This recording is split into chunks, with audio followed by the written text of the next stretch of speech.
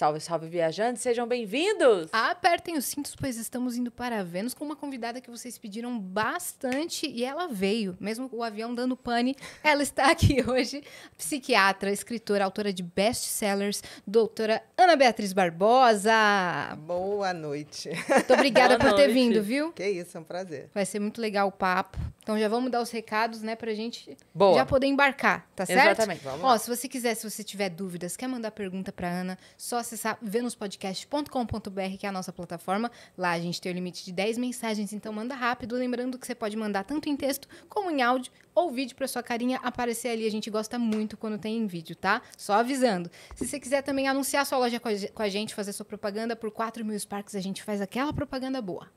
É isso. Se você estiver assistindo a gente pela Twitch, tiver uma conta da Amazon, você pode linkar a sua conta da Amazon com a sua conta da Twitch. Isso vai te dar um sub grátis por mês. E aí você consegue apoiar o nosso canal sem gastar nada. E a gente vai ficar mó feliz. Canal de cortes. Se você quiser ter um canal de cortes do Vênus, inclusive fizeram um canal de poop agora, com nossos conteúdos, que tá muito legal, tá tendo bastante acesso. Se você quiser criar, você pode, desde que você siga uma regra que é: espera o episódio terminar pra você soltar depois. Não queira se adiantar pra pegar as views, porque aí a gente corta suas asas e não solta suas feras. A gente solta nossas feras pra você. E aí você vai ficar sem o canal. Mas pode criar que a gente fica super feliz. Muito bem. Temos surpresa? Temos surpresa. Vamos ver a nossa surpresa? Se liga na tela, doutora Ana. Vamos lá. Ê! que fofo, cara. Ficou fofo. Muito Gostei. gracinha, né? Olha o brinquinho O mesmo. brinquinho. Ficou. Você tem uma foto que você tá com essa blusa, exatamente com essa pose, assim? Eu tenho essa blusa. Eu tava pensando se tem uma foto com essa pose, mas é bem provável que sim. Sim, porque aí essa- foi a É bem, referência. Porque- é bem provável. É.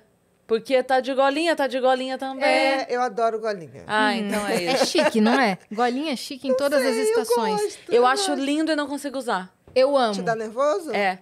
Eu não consigo. Nem correntinha pra mim tem que ser. Eu não consigo nada aqui, ó. Nem no. Eu fico olhando na assim.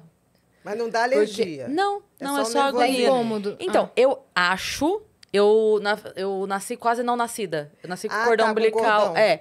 E eu já conversei com algumas pessoas, assim, que me dizem que pode ter alguma relação com isso, que eu não, não trabalhei muito bem. Então. Inclusive, ela pode te dizer. Pode. Pode, Pode ter alguma relação, Mesmo, é, incômodo, é. sim. Então, que eu, eu acho sempre que tô sufocada. Qualquer coisa Hum. no pescoço eu já. Assim. Então, eu não uso. Mas eu acho lindíssimo. Eu, Eu também gosto, acho chique. Eu tô esperando o frio pra poder usar uma caixa réu, assim, com, com um sobretudo. Nossa, chique. Vou pra Nova York.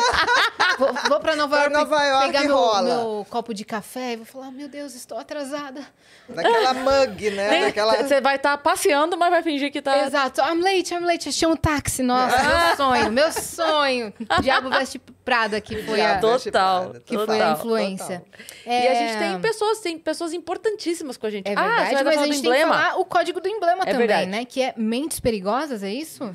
Esse é o código para você resgatar gratuitamente na nossa plataforma venuspodcast.com.br. E a minha parça estava falando, quem tá com a gente hoje é a Paramount Plus, que vai dar uma indicação de série, que inclusive eu acho que é um assunto que te interessa bastante, É. doutora. Vamos lá. É.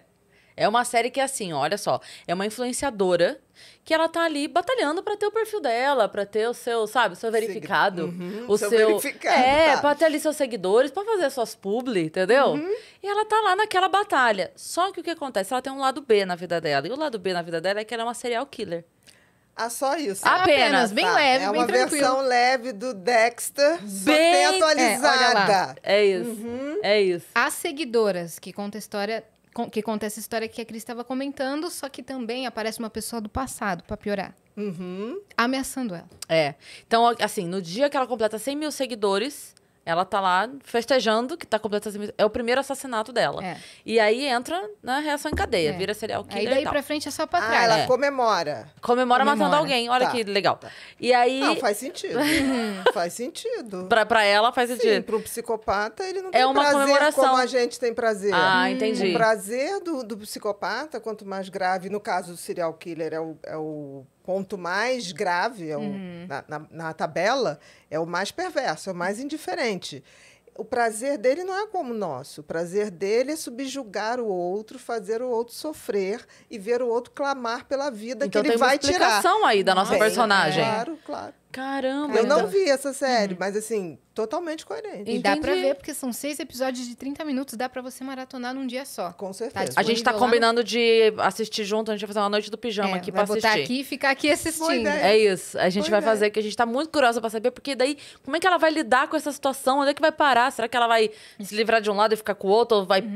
Eu não sei. Porque nesse primeiro, nesse primeiro assassinato é o dia da festa. E depois vai desencadeando outras mortes. Só que aí aparece esse cara que é do passado que ameaça ela de cancelamento. Só que ela continua lá, postando normalmente no- nas redes sociais dela, como se fosse a vida perfeita. Aí eu tô curiosa pra saber o que, que vai acontecer Eu também nessa tô muito história. curiosa. Só você assinar a Paramount Plus que os episódios já estão disponíveis, ok? É. Quem tá com a gente Bem hoje também, minha parça? Quem tá com a gente hoje é o Fatal Model, com esse símbolo lindíssimo, que eu acho muito style esse símbolo. Que é a Fatal Model. O que, que é o Fatal Model? Ele é o maior site de anúncio de acompanhantes do Brasil. E eles têm chamado muita atenção exatamente por esse tom profissional e respeitoso que eles têm. Então eles tratam assim com. é, com muita, muita. Como é que eu vou dizer? Muita. É, muito, cuidado Muito cuidado. dos profissionais, sabe? Sensibilidade. Ex- isso, era essa palavra que eu tava procurando. Uhum. Sensibilidade. Então é muito. e Eles têm chamado atenção justamente por isso, né, Yas? Exato. Porque a gente sabe que é um, é um segmento que ainda sofre muito preconceito, Temos né? o Tabu e eles estão postando, inclusive, vários conteúdos no canal do YouTube deles pra quebrar meio que esse preconceito que, que os profissionais do sexo sofrem, também pra é, dignificar ainda mais a profissão. Então, eles dão dicas de organização financeira, dão dicas de segurança, dão dicas de saúde. Isso também pra educar a gente e os contratantes. Que é muito importante, né? Então, você quer saber um pouquinho mais, quer se inteirar, do conteúdo, conhecer melhor até o trabalho dessa galera toda, então você pode pegar o seu celular, mira aqui no QR Code que está na sua tela e você já vai direto lá para conhecer o canal e todas as, todas as informações do Fatal Model. Exatamente isso. Muito bem. Agora Deve vamos... ser bem interessante isso, sabe por quê? É, todas as meninas de programa e os meninos de programa, eles são meio psicólogos, né? Tem gente que procura um garoto de programa ou uma mulher de programa para isso. Pra conversar. conversar, é verdade. É, bem comum. Eu Ou não atendo- se sentir sozinhos, pra fazer companhia. Não, muitos, muitos vão para falar a vida. Eles, eles ouvem muito. Então, assim, esse tipo de seleção é super interessante. Tem que gostar de ouvir. Eu vi um né? filme outro dia, acho que era. Ai, meu Deus, será que era esse o nome? Indecente, se eu não me engano? Não vou lembrar. Que era isso, era uma. Eram, são duas irmãs, e aí uma irmã, tipo, não tá bem de vida e tal, liga pra outra, a outra vai pra ajudá-la. E aí a irmã chega. Isso que eu tô falando é a premissa, tá? Não é, não é spoiler, não, do, do filme, que a galera já fica puta. E aí, quando a menina chega pra ajudar a irmã, é, no dia que ela chega, é logo o início do filme, a irmã é assassinada. E aí ela começa a investigar e descobre que a irmã dela tava sendo cam girl. E aí que aí desenrola todo o negócio. Então aí tem essa história por trás dos caras que tinham essa relação meio que, não, ela é minha, ela, sabe? E aí ela começa a descobrir e aí ro- rola a história mesmo que eu não vou entrar daí pra frente que daí vai ser Sim, spoiler. sim, aí vai dar Mas spoiler. é, mas é exatamente essa questão assim do, do- dessa relação meio maluca das pessoas que não entendem. Não separam, Exato. né? E- Exato. Mas é muito mais do comum do que a gente imagina. Principalmente se, a- se repetem o mesmo, a mesma menina ou o mesmo menino. Tem gente que vai para conversar. Eu tive um, um caso que foi muito interessante. Foi uma menina de programa que ela tava, frequentava uma, uma termas, e aí chegou um dia um, um cara que já tinha rodado com todas as outras, e aí queria ela. E aí ela estava muito chateada porque era o último dia de uma novela chamada Celebridades, do Gilberto Braga. Claro, Você aham. lembra? Sim. Com a Malu Quem matou o Mader. Lineu. exatamente. Que era o que ia, ia revelar no final, lembra? Exatamente. E aí, é, o cara foi e pediu. Ela falou: bom, tem que, tem que obedecer, né? Vamos lá. E aí ele chegou, tá, tá, tá, ela falou assim: que saco esse cara, não sei o quê, não gosto dele, porque ele já rodou com todo mundo. Aí ele chegou para ela e falou assim: posso fazer um pedido inusitado? E ela olhou e falou assim: depende, pede, né? Ele falou assim: não vamos fazer nada, eu vim aqui hoje só para ver o último capítulo da novela. Aí ela falou: ótimo, tudo que eu queria. Pois bem, nessa história ela achou aquilo fofo, lindo, eles estão casados. E felizes. Que loucura, que legal isso. Caralho! Ela, ela falou isso. assim: eu descobri que um homem que se dispõe a pagar um programa para assistir um, uma, uma, um último de capítulo novela. de, de novela, eu falei: esse homem é o homem da minha vida. Casaram, têm filhos e são muito felizes. Que história legal. Que história linda! Eu Real. amei essa Real, história. eu também. Tanto que eu falei assim, gente, mas coisa incrível, porque ela estava com mil pés atrás. E ele teve vergonha de pedir para as outras, porque ele já tinha feito sexo com as outras. Então, quando era ela a única que não, ela meio antipática, ele falou, posso fazer um pedido inusitado. Fez e graças aí às celebridades. Olha aí, a graças à vendo? novela. Acabou a novela, A começou a, Emma vida real. Exatamente. Gente, que incrível! É. Essa semana um amigo meu, um amigo, não posso dizer que é amigo, mas uma pessoa que eu sigo no Twitter, que me segue de volta, mas é aquela relação que você não sabe nem quem é a pessoa, né? Sim. Ele, eu, ele tava comentando que ele tem uma amiga, que ela é garota de programa, e ela é amiga dele há muitos anos, ela foi visitá-lo, eles tinham marcado de fazer um tour na cidade dele.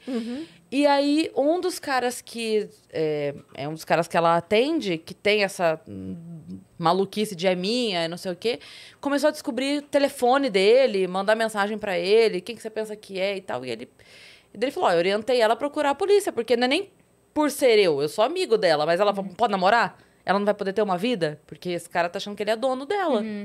É, ocorre também muito, né? Essa fixação, assim. Isso acontece demais, mais do que a gente imagina, assim. As meninas de programa sofrem muito essa coisa desse tipo de, de, de assédio, porque fica, as pessoas têm caras que confundem Sim. literalmente a realidade com, com o mundo real. A, O a virtual, pessoa, né, a pessoa que confunde, eu vou entrar nisso agora então pra te perguntar uma coisa. Eu assisti o Golpista do Tinder Uhum. e o, o Inventando, Ana. Inventando Ana. É. Uhum. E aí, tava conversando sobre isso, acho que ontem, ontem, não lembro, que eu falei, eu tenho a impressão de que ele é mais filho da puta do que ela. Ela, eu acho que ela tem mais é, um- uma desestabilidade ali, porque tem hora que parece que ela mesma acredita no que ela tá falando. Ele me parece mais. Entende o que eu quero conta Eu dizer? entendi. no caso dela. Mas ele também... é, Então, ele... me parece mais canalha.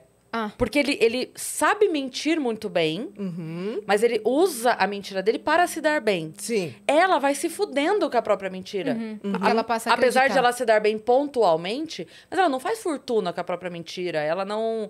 é, é, é, tem hora que ela chora contando a, a própria história. É meio que uma coisa maluca ali. Ela, ela de fato acredita. Né? Quando ela fala, eu vou, eu vou chamar Fulano, ela de fato acredita. É, é, eu acho, por exemplo, o golpista do Tinder, eu não tenho dúvida de que ele é um cara do mal mesmo, assim, é um estelionatário afetivo. Pronto. Sim. Pronto, é Sim. um 71, Sim. né, que a gente chama literalmente, está no Código Penal. Então, ele faz tudo milimetricamente calculado. Sim. Ele não diz uma palavra que ele não saiba o que, que vai pegar, na fraqueza ou na sedução. Ele, ele joga xadrez com as Essa- pessoas. essas pessoas, sem querer te interromper, mas eles Tá. conseguem reconhecer a fraqueza da vítima? Com certeza. Por exemplo, uma pessoa, quando a gente diz que uma pessoa não tem empatia, não tem sentimentos pelo outro, o que, que acontece? Você está falando de uma pessoa que o outro é simplesmente um objeto de uso. Então, para que, que uma outra pessoa serve se eu não tenho empatia por você ou por você? Você só serve para eu, pra eu ter ou diversão, ou status, ou poder. Você é um objeto. E ele consegue Literalmente. reconhecer quem tá mais suscetível ao golpe. Sim. Não só quem é suscetível, mas quem é. E tem uma coisa engraçada: quem é tá mais suscetível, quem está mais carente, quem acredita, quem é mais manipulável, quem é mais influenciável. Porque você tem que entender o seguinte: essas pessoas são 100% razão e zero emoção. Sim. Então, eles conseguem estudar sempre a vítima. Não é uma coisa assim por acaso. Eles levam muito tempo até chegar a você, sabe o que você gosta, sabe o que você posta, tipo musical, Tipo aquele sabe do a You sua lá. lista É. do Aquela série do Spotify. You. Exatamente. Que o cara- né? É, antes dele chegar na menina, ele já tinha. Não, todo Tudo psicopata estuda profundamente as suas vítimas. Não Sim. é uma coisa aleatória.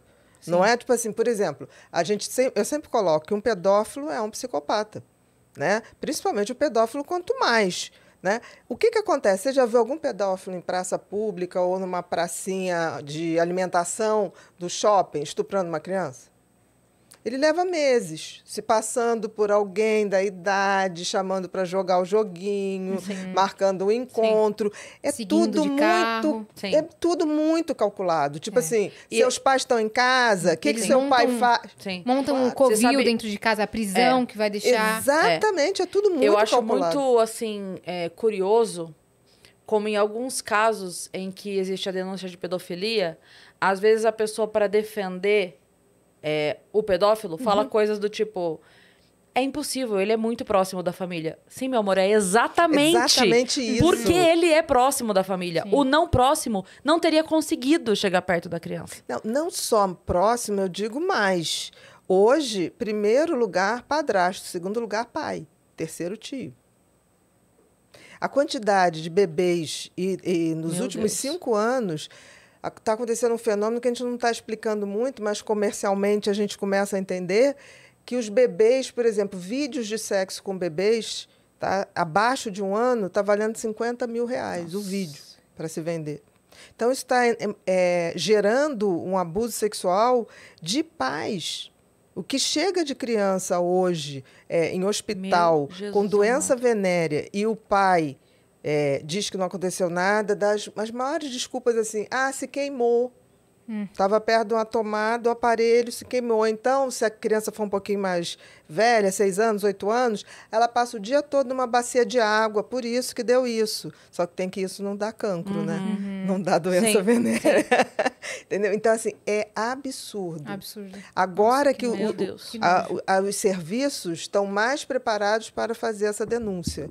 Antes, não, ni- a- ninguém imaginava, 20 anos atrás, tipo assim, um pai estuprando uma filha. Sim. E hoje o que está acontecendo é pior, porque existe a participação de mães. Até há pouco tempo atrás tinha uma ilusão de que não tinha mãe psicopata, né? Mãe que usasse a filha para isso. Não. Ocorre.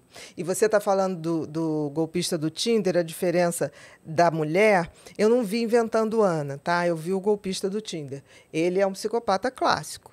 Agora, ela, pelo que você está falando, é, a gente tem que entender que a psicopatia masculina é diferente da feminina. Se apresenta Ah, é? de outra forma. Qual a diferença? Por exemplo, a psicopatia masculina, ela tem uma agressividade maior, ela tem uma objetividade maior, porque o homem tem essa coisa. O homem tem mais testosterona que a mulher. Por isso que é muito mais fácil você achar um serial killer homem do que serial killer mulher. É raro. Agora, isso não quer dizer que a mulher não faça maldade. Ela faz de outra maneira. Ela é mais dissimulada. Por exemplo, é, a mulher usa muito mais das artimanhas, tipo assim, se ela quer matar o marido, ela vai envenenando aos poucos. A gente teve isso na novela também, né? Sempre A, a, a que, que era com o Antônio Fagundes lá, que deixou ele cego. Exatamente. Lembra? É, Exatamente. Cara, exa- te- Que era a Vanessa Giacomo. Giacomo. Mesmo. Eu Isso lembro me- de uma isso mesmo. cena dessa novela muito doida que é hora porque os filhos começam a, a falar pra ele, ele não acredita. Fala, ele não acredita, ele Isso briga mesmo. contra a Que família novela toda. que era? Era uma do. Oh, meu Caramba. Vê com a gente, Fih, pesquisa aí, por favor. Colocando. Novela que o Antônio Fagundes é, é- Era Suzana cego, Vieira, era a mãe, foi aquela que o. Aquele menino fez aquele papel. Amor, Amor à vida. vida. Isso mesmo. Era tio Félix. Tio Ah, Félix. tá. Isso, É. que ele arrasou. É, que arrasava. Exatamente, Ele era ótimo. exatamente. Isso. O Félix era filho do Antônio Fagundes. É. na novela. Isso, do Ele Antônio Fagundes e da. Suzana Vieira. Ele Isso aí, isso ele aí. era homossexual, o Antônio Isso. Fagundes não aceitava. Isso. E no fim termina os dois de mão dada na Sim, praia. Isso. Numa e linda filho. cena. Nossa. cena, é, Nossa, de cena chorar. Com o pôr do sol, assim. Nossa, nossa, ó, vou, já me emocionei. É verdade. Mas é. Não, eu ia falar que tem uma, tem uma cena que eu acho maravilhosa, que é os filhos começam a denunciar ela e ele não acredita, porque ele tá apaixonado. Sim. E não, não, não é, não é, não é. E ela fazendo ele assinar cheque em branco, e ela fazendo não sei o quê, e tá, tá, tá, tá. Aí, e ela tá com, a- com o amante Uhum. dentro de casa e tal, e ele não desconfia porque ele não vê. Sim. Né? Então ele só se Ele preocupa em fazer cego, silêncio. isso, É. E aí tem uma cena que ele tá assim, ela fala: Ah, amor, eu tô indo pra cidade, não sei o que, vou fazer não sei o que, tá, tá, tá, tá, tá.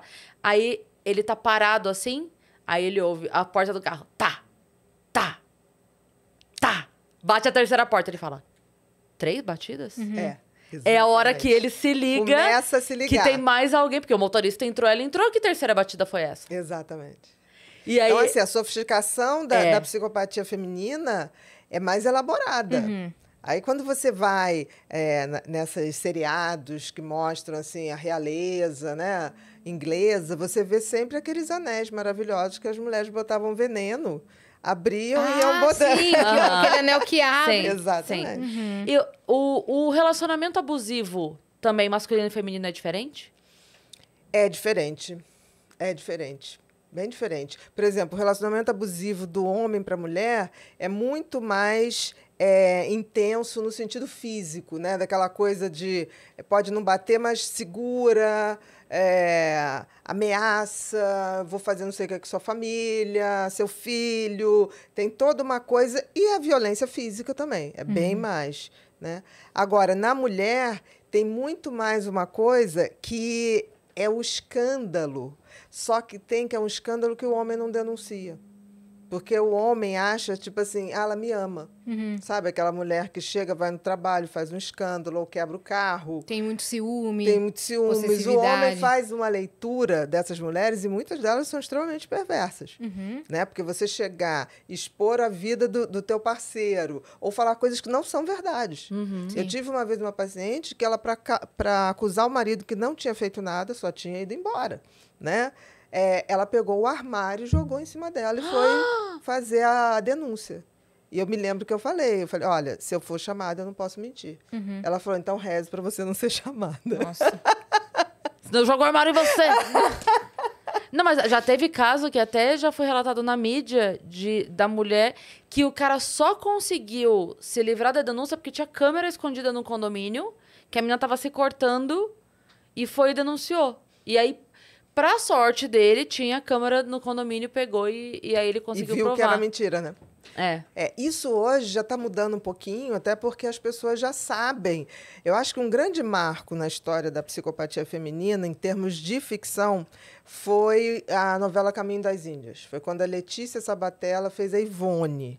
Que A Sim. Ivone era aquela mulher linda, bem vestida. E eu me Cara lembro- de anjo. cara de anjo, né? E tinha aquela, aquela premissa, tipo assim, a beleza não tem, não, não associa a maldade. Uhum. Tinha essa, essa, essa crença, né? Sim. E eu me lembro que quando. eh, eu- eu- nessa novela eu dei consultoria para Letícia Sabatella, eu me lembro que a Letícia, quando a gente. Eu falava assim: você não sente nada. A Ivone não sente nada. Ela vai acabar com a vida do outro. Tá, tá, tá. Aí ela olhava para mim com aquela carinha e falava: mas por que, que existe psicopata, Bia? Eu falei: não sei. Sim. Aí, por fim, eu falei: é porque deve existir o bem e o mal para a gente escolher Sim. o bem. Foi o que eu mais que eu consegui. E ela conseguiu passar isso na E ela personagem. conseguiu, mas eu me lembro personagem. que durante a, a, a personagem, a novela, ela sofreu muito. Ela sofreu muito. Assim, a, a- a- carregar aquela energia. No final, ela ficou um mês, assim, exausta, exausta mesmo. Uhum. Que é uma maldade por maldade, né? Sim. Uma diversão. Sim. É uma grande diversão ver o outro sofrer, ver o outro perder tudo e, e reinar absoluta, né? E às vezes é um ano de gravação, né? De segunda a sábado ali, a pessoa não consegue desligar. Não Porque tem é o dia como. todo. É. E aí ela só. Ela só é ela quando ela tá dormindo. Ela já acorda e já tem Sim. que entrar de novo O- no personagem. O Jim Exatamente. Carrey deu uma surtada, né? Que ele fez o É. Woody Allen. E ele deu uma enlouquecida. Demorou um tempo pra ele voltar, assim, a É, aparecer. O Jim Carrey tem uma Foi- personalidade. É o não é? É o Allen? Qual- Foi o Allen? Eu não sei, não, eu não, não tô ligada, não, o que, que ele fez. Que ele, eu vou pesquisar Tá aqui. bom. Que acho que foi o Allen que ele fez a... é, tipo, que ele encenou a vida Uhum. da pessoa. Eu acho que é, se eu não tiver... Você vê pra gente Não depois? foi por favor? o. Não, Teve- não. Teve também Todo- o Heath Ledger, que fez o Coringa. Sim, Né? sim, sim. E olha que interessante, é, esse, existe um, um transtorno que é a personalidade borderline, que é uma personalidade é, de, uma, de um oco existencial. Né? O borderline ele é, ela é uma pessoa ao contrário do psicopata.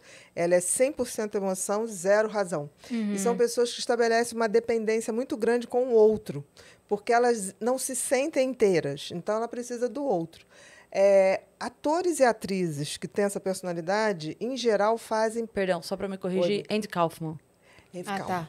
Não Andy foi o Woody Kaufman. É, o que, eu falei? Enfim, Andy Kaufman. Tá. Que ele interpretou e aí depois ele ficou um tempo assim, meio... É, é isso que eu estava colocando. É. Ah. esse tipo de perfil de personalidade é, são os melhores atores e atrizes que tem. Porque, em não sendo ninguém, o personagem que eles fazem, eles não, não, não interpretam, eles literalmente são. Sim. Então, são atores e atrizes, quando acabam o filme, eles levam um tempo para sair do personagem, porque eles realmente foram aquilo. Então é Aham. muito interessante isso, porque assim é, é uma personalidade de muita emoção, pouquíssima razão. Então, na hora que eles vão interpretar alguma coisa, eles mergulham fundo mesmo. Então, se tiver que emagrecer 20 quilos, emagrece. Se tiver que é, fumar, vai fumar intensamente. Não tem metade. É tudo muito intenso. Ali, ó. Uhum. Sim. É, é assim, dizem que ele ficou bem mal depois, Sim. um bom tempo mal. Tem assim. gente que não consegue desassociar tão rápido. Sim, que Foi isso são que essas aconteceu personalidades. com, com o Heath Ledger? Heath Ledger foi. Também. Também. Uhum. Afetou ele psicologicamente? Não, não é afetar, é porque eles realmente passam a viver aquilo. É como se eles não tivessem nem antes nem depois. Enquanto eles estão fazendo aquele personagem, eles são aquilo. Eles não estão interpretando. E aí leva um tempo para voltar ao que era antes. Uhum. Leva um tempo mesmo. Quem, fez, quem passou por isso há muito tempo foi Luiz Cardoso quando fez Leila Diniz. Um filme bem antigo. Mas, assim, ela levou um tempo também. Pra se recuperar. Para perder os trejeitos da Leila Sim. Diniz, para perder o, a, a forma de pensar. Sim. É muito interessante o Socorro. São os melhores atores Sim. e atrizes, não tenho a menor dúvida. Se a gente for pegar a lista de Oscar de melhor ator e atriz, provavelmente vai bater ali pelo menos 70% Sim. de personalidade borderline. Qual, qual ferramenta que se usa para incorporar dessa forma um personagem? Não é ferramenta. Na realidade, para essas pessoas que têm a personalidade borderline, é, é exatamente isso. Como elas não se sentem é, uma pessoa inteira, ela precisa dos outros. Ela, quando ganha um personagem, ela ganha uma vida inteira. Então, ela ganha Ela a vida, a, a vida é, da, da, da personagem, os parentes, os, os amores, as dores. Então, é como se incorporasse aquilo mesmo. Que loucura, cara.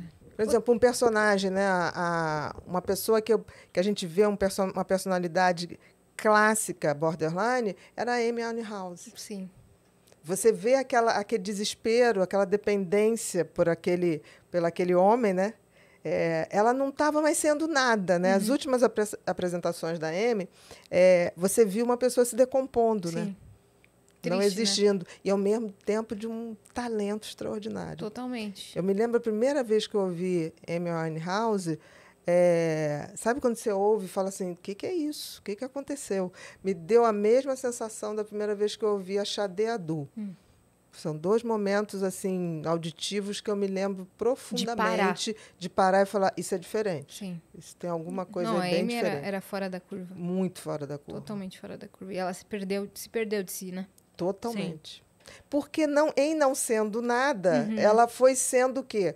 A- ela foi sendo a filha daquele pai Uhum. que gostava de, de músicas clássicas americanas, né? Frank Sinatra, Uhum. é, é, meu Deus, aquela cantora bem de blues, É, Billie Holiday. Billie Holiday. Quer dizer, ela bebeu ali naquela fonte para agradar aquele pai. Uhum. Depois- Ella, Ella Fitzgerald. Ella Fitzgerald, né? Então, assim, ela foi se tornando ali a filhinha do papai. Sim. Logo depois, ela explodiu para um sucesso que nem ela estava preparada. Uhum. Você vê que ela, aquela menina saiu de pubs para ir para uma multidão de gente assustadíssima.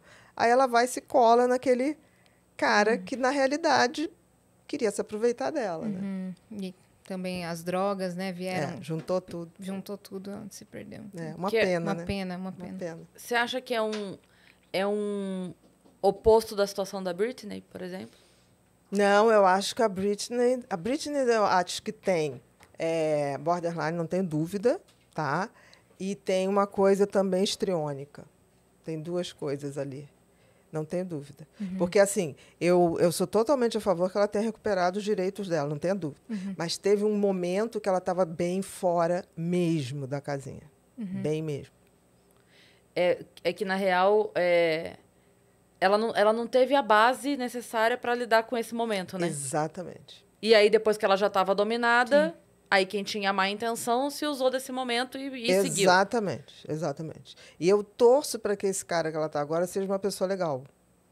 Torço mesmo. Porque, assim, é muito fácil na personalidade dela você é, dominar, mas dominar de uma maneira muito manipuladora, muito jogadora.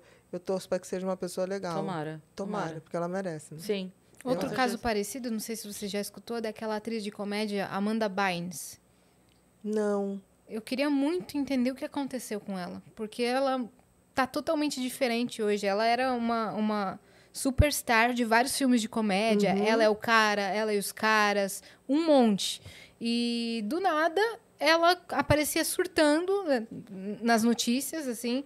E aí ela foi diagnosticada, não sei se com borderline, não sei se com bipolaridade. Ela perdeu o direito sobre, sobre as próprias decisões. Os pais também tiveram é, Que intervir, né? que intervir. Fazer tutores, né? é, como Uhum. tutores. E ela meio que saiu da casinha totalmente. O olhar dela mudou. Eu não sei o que. É, quando tem que que essa acontece? mudança de olhar, você tem. Olha só. Ah, tá. Sabe quem é? Tá, tá. Agora lembrei. Lembrei. Lembrei. Gente, não precisa nada. Se a gente for lembrar daquela cantora. Gente, a. Whitney. Whitney Houston.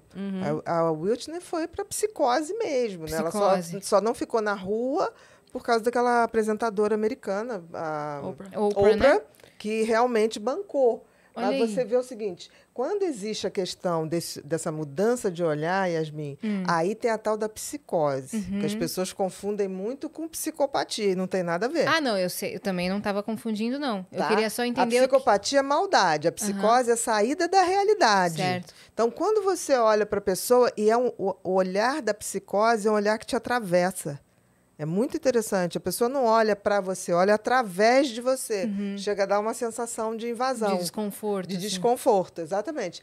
Aí, ou pode acontecer de realmente é, ter um momento de psicose, isso é muito é, comum acontecer em borderlines graves, mais graves, ou então pode acontecer é o uso de drogas desencadeando essa questão de psicose, que é mais comum acontecer. Uhum.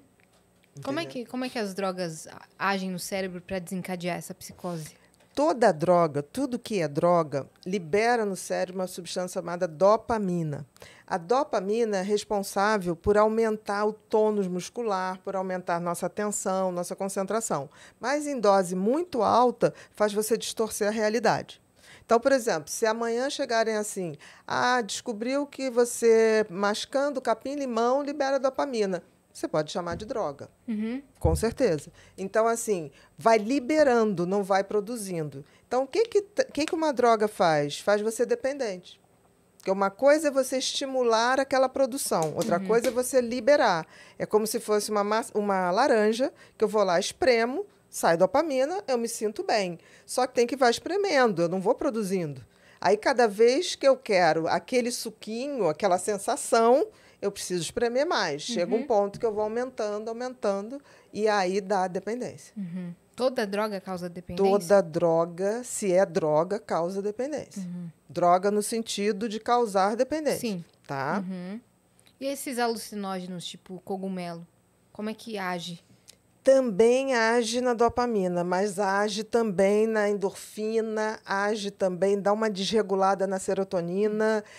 Os cogumelos. dizem eu- que quem usa sai da realidade totalmente. Totalmente, totalmente. E tem uma coisa nos cogumelos que tem pessoas que fazem boas viagens, mas tem pessoas que fazem viagens horrorosas. E a gente nunca sabe qual dessas pessoas está predisposta a desenvolver psicose ou não, porque os cogumelos podem de- desencadear a esquizofrenia, por exemplo, nas pessoas que têm uma predisposição genética. Então é bem complicado. Eu já vi gente relatar viagens maravilhosas, do tipo, é, lembrou da vida uterina, passada, né? passada, ok, sem o menor problema. Mas já vi gente ir e não voltar. Uhum. Então, a questão Tem um é. caso bem próximo da gente na comédia. É. Um humorista que perdeu o filho assim. Exatamente. Então, assim, a questão é, hoje, se a gente puder, porque a gente hoje pode fazer um estudo genético, né? A gente já tem, pega um cotonetezinho, põe na bochecha e você vê lá o perfil genético para adoecimentos mentais. Tem também para várias outras doenças, cardíacas, o que for. Se você hoje tem essa dúvida, é melhor pagar um teste genético, porque se tiver lá uma predisposição para esquizofrenia, não vale a pena arriscar. Uhum. Entendi. Entendeu? Caramba. Exatamente. Eu, que- eu fiquei interessada em fazer esse teste, não é nem pra saber se eu Sim, posso tomar sim. nada, não. Mas eu fiquei interessada em fazer esse teste. Mas isso hoje tem. Yasmin, inclusive para medicação. Uhum. Chama neurotestagem para medicação. Por exemplo, eu recebo muito, eu sou muito requisitada para second opinion. Que que é- ninguém chega no meu consultório para dizer assim, olha, é a primeira vez que eu venho no psiquiatra resolvi vir em você. As pessoas chegam no meu consultório para dizer assim, minha última esperança, eu já fiz isso, isso, isso, isso, isso. Aí chega com a lista. Você não tem noção da lista. Nossa. E eu peço para levar a lista. Uma vez eu peguei uma mulher que estava tomando 48 comprimidos. Aí eu olhei para ela, ela, o que, que você vai fazer fa- comigo? Eu falei, primeiro vou desintoxicar, porque isso aqui eu já não sei o que, que é remédio, o que, que é você, o que, que é doença, porque eu não tenho como julgar Sim. isso. Né? Então, o que, que acontece? Eu peço hoje, se a pessoa me manda um e-mail, porque a pessoa vai marcar uma consulta, eu peço para mandar um e-mail. Sim. Porque eu acho que o tempo da pessoa é muito precioso, porque às vezes eu vou ler o e-mail, eu não sou a pessoa mais adequada para ajudar. Uhum. Eu já vi gente falando assim, não, procura fulano, que teu problema é um problema mais ligado a neurologista, Ah, tá. tá? E não a psiquiatria. Então, eu já faço esse tipo de filtragem. Uhum. E quando ela bota ali que já tomou todos os remédios e teve super efeitos colaterais, eu já peço para vir com o teste genético. Porque você Incrível. poupa a vida da pessoa. E você não faz do paciente como se fosse um laboratório de Sim. teste. Tipo assim, o que acontecia até pouco tempo era a psiquiatria não pede exame. Eu não sei aonde surgiu essa, essa, essa verdade dos médicos psiquiatras não pedir exame. Porque se a gente parte do princípio que o cérebro é o órgão mestre que governa todo o organismo, é o que a gente mais tem que estudar. Então você vai num, num pneumologista, ele pede a tomografia de pulmão, ele pede os marcadores para você ver se você tem câncer pulmonar e para o cérebro. Uhum. As pessoas iam no psiquiatra há pouco tempo atrás e as pessoas falavam, ah, você está sentindo isso? Então, toma esse antidepressivo. Aí a pessoa ligava, pô, não estou me sentindo bem, está dando diarreia. Não, isso é da sua cabeça. Como da sua cabeça? Uhum. O organismo da pessoa é diferente. Sim. Entendeu? Sim. E, e o que tem me chamado a atenção, olha que coisa interessante, eu tenho pedido cada vez mais esse, esse teste de neurofarmagem, que ele agora está se tornando acessível. Antes ele era muito caro. E o bom da tecnologia é quanto mais você usa, mais você barateia. Então, hoje tem convênios que já cobrem até, porque viram que é melhor fazer o teste, o cara Pra acerta saber o tratamento. Identificar exatamente. E economiza em outras partes. economiza até Você acha que é um internação. custo, mas não é, né? Não, e economiza até a internação. Sim. Né? Teve uma amiga minha que ela tava, ela começou a ter problema de estômago. Uhum. Muito problema de estômago e passava e, e, e ânsia, e diarreia e nada funcionava e não sei o que. Cada, cada gastro que ela ia passava um tratamento caríssimo. Tinha uns negócios que ela comprava lá. Cada caixinha dos negocinho pra dissolver na água era, sei lá, 200 reais a caixinha que vinha não sei quanto sachê. E, e foi, foi, foi, foi. Um dia a gente tava conversando, eu falei pra ela, escuta, é, você não tinha começado a tomar anticoncepcional? Ela falou, tinha. Eu falei, para. Vamos fazer um teste? Para, porque não tem mais. Ela parou, sumiu. Era isso. É isso que eu estou falando, que as coisas hoje chegaram num ponto é, que as, as especialidades estão tratando só uma coisa. O ser humano é inteiro, gente. Não tem como tirar a cabeça, tirar o estômago, né? Bota o estômago para fora, trata o estômago. Sim. Porra. Sim. Aí as pessoas, tipo assim, eu peço muito exame. Meu protocolo de exame é desse tamanho, é muito mesmo. Eu fui processada por praticamente todos os convênios grandes.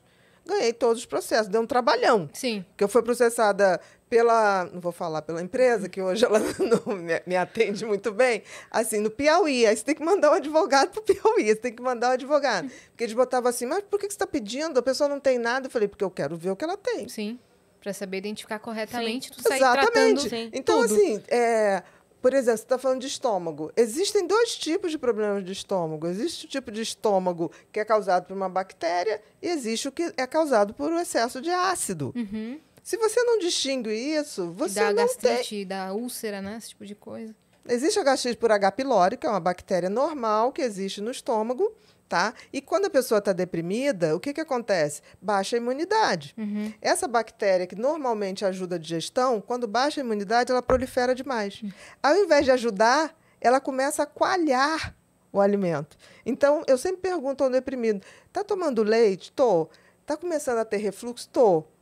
Uma grande possibilidade que tenha H. pylori, essa bactéria numa, numa, numa alta muito grande. Entendeu? Então, por que não pedir endoscopia? Por que não pedir ah, o teste para ver se é com Sim. a bactéria ou não? Porque o tratamento é totalmente diferente. Sim. total. Entendeu? Então a gente tem que começar a ver que a medicina vai ser individualizada, cada vez mais. Mas não é individualizada porque você vai ter 10 médicos. Você vai ter alguém que centra e todos colaboram. Sim. Sim. É, é diferente do que você ter 10 médicos. né? Uhum. E vai ficar muito mais acessível o preço também desses. Sim, eu, Dessas eu ferramentas. tive um paciente muito querido, é, que, que ele até é um, um- um grande escritor, e ele, ele era fumante crônico, tinha parado de fumar tinha um ano. E aí, todo ano, quando eu pedia a minha bateria de exames, para ele eu pedia ressonância magnética de pulmão. Porque durante 10 anos estava ali, aquelas células cancerígenas podiam se manifestar. E aí pedi normalmente. Aí ele me mandou, um- uma semana depois, ele me mandou um, um e-mail falando assim, querida Bia, não sei o que lá, muito obrigado. Olha, pela sua ressonância foi descoberto um tumor. O tumor está bem pequeno, tirei já um pedaço do, do pulmão e está tudo, não vou precisar nem fazer quimioterapia. Aí eu falei, onde é que você está? Ele me disse no hospital, aí isso foi num domingo que eu recebi esse e-mail. Quando eu fui na segunda, eu fui visitá-lo. Falei, como assim? Foi nessa velocidade? Ele foi, foi nessa velocidade. Porque o cara que fez a minha ressonância falou assim: olha, você está com microtumor. Se tirar agora, não precisa nada. Cessa. Aí foi engraçado que o pneumologista dele chegou, olhou para mim e falou assim: olhou para mim, mas brincando. né? O que, que você tinha que pedir exame? Você acabou com o meu final de semana. Aí ele, não, tô brincando. Ele falou assim: caramba, se as pessoas fizessem isso, Sim. né? Porque assim, o fumante vai levar 10 anos para limpar o pulmão. Sim. Por que, que eu não posso pedir? Eu sou médica. Sim. Você se forma em medicina, gente. Sim. Sim. Você pode pedir exame. Eu não vou é dar o diagnóstico do tipo de tumor. Eu não vou operar. Isso aí passa para o colega especialista. Exato. Mas a gente tem que ter esse Se ele raciocínio. não tivesse descoberto esse tumor, ia crescer, talvez se tornar maligno. Sim. Exatamente. Por exemplo, no meu exame de sangue completo, que eu peço adrenalina, noradrenalina, serotonina, hormônio, tudo, eu peço marcadores de câncer, cancerígeno a partir de 40 anos. Não me custa. Porque o marcador você pega precoce, você evita que o cara daqui a dois anos pegue alguma coisa que já está alastrada. Por que, que a gente não pode fazer isso? Custa o quê? Sim. Entendeu? Com certeza. É, outra pauta que eu queria entrar, a gente sempre comenta aqui sobre uma matéria do Fantástico que, que fala sobre haters. Não sei se você já chegou Sim. a assistir. Eu queria saber o nome que se dá, se é uma doença, para esse hater que sente prazer em ver o outro muito debilitado com, com os comentários dele. Olha, eu acho que tem duas coisas. Eu acho que tem aqueles que são perversos, perversos mesmos. E existe um grupo hoje radical, não sei se você já ouviu falar nos celibatários involuntários.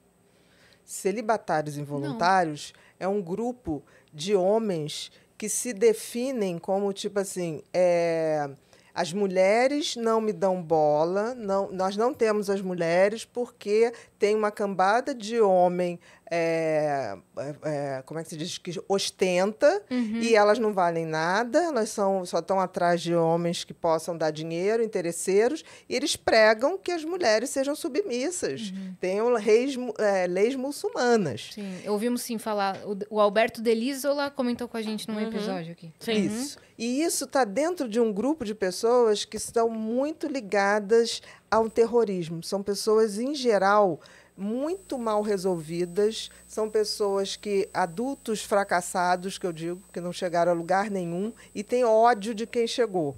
Entendi. Isso aí é um problema muito mais de uma geração, e cada vez está aumentando, porque você vê, hoje a geração de 30, 40 anos tem a opção de gente que ainda vive com pai e mãe, né, gente? Eu me lembro quando eu tinha 19 anos, a gente não queria comprar o primeiro carro, a gente queria alugar o primeiro apartamento. Uhum. Para a gente poder morar sozinho, para a gente poder eh, batalhar, pegar ônibus. Isso era uma. co- Exatamente. Hoje em dia as pessoas 40 anos, não, não vou sair da casa do meu pai, não vou sair da casa da minha mãe. E ao mesmo tempo querem um emprego que dê a eles todo o conforto que eles têm na casa do pai e da mãe. O que é uma contradição. Totalmente contraditório, né? E às vezes os pais também são super protetores, Muito. então preferem que os filhos fiquem em casa mesmo com 50 É. anos. Exatamente. Exato. É, porque en- enquanto eu te banco, eu mando em você, né? Sim. E muitos pais, tipo assim, se não tiverem, depois de aposentadoria, é, o controle de alguma coisa, não sabe o que fazer. Então, e tem uma, uma geração de pais que, tipo assim, eu vou dar tudo para os meus filhos, que eu não tive. Gente, dar tudo para os filhos é apostar no fracasso como Sim. pessoa. Você está apostando que seu filho vai ser um fracasso. Nada. É. Em, em geral, é esses que são os que vão esperar pai e mãe falecer para pegar herança, esses, em geral, exigem que, tipo assim, eu, eu, eu recebo no meu consultório barbaridades hoje, do tipo assim, Bia, eu quero que você dê um atestado para meu pai me passar a herança. Aí eu falo assim, você sabe o que que é herança? Olha no dicionário, herança é uma coisa pós-morte. Assim, depois que seus pais morrerem. Herança não se dá em vida, entendeu? É, é pós. Não, mas meu pai já está com 70. Eu falei, ok, 70, ele pode ir a 85 bonito, com a saúde que ele tem. É, 70 tá cedo ainda. Esse excesso de dar para essa geração é, botou num patamar que eles estão querendo muito. E eles estão querendo tudo aqui agora, né? À toa Sim. que tem os meninos da boate, né? Que batem nas meninas porque não dão bola para eles. Então eu acho que os haters. E é muito aquela coisa de. é, Esse emprego paga pouco, né? tudo, tudo é pouco. Tudo é Esse pouco. emprego paga pouco, não vale a pena. Ah, mas se eu Exatamente. fizer isso, aí. Mas, mas também não faz o outro. Não. faz isso, mas também não faz o outro, mas também não sai. E aí você fica. Tá, mas e aí? O que, que vai ser então? Sim. Não vai, porque ele já está esperando, já foi dito, porque esse pai já falou, tipo assim, você vai ter o apartamento que eu já comprei para você, você já tem aquilo, já tem aquilo outro. Aí que loucura, né? Porque fica uma família que fica os filhos desejando a morte. Esperando a morte dos pais pra começarem a Exatamente. vida. Exatamente. Que loucura. Que loucura. Então, E que assim, triste, né? E que triste. Pros dois. Pros dois Pros lados. dois. Pros dois lados. Porque assim, é, eles não se tornam ninguém.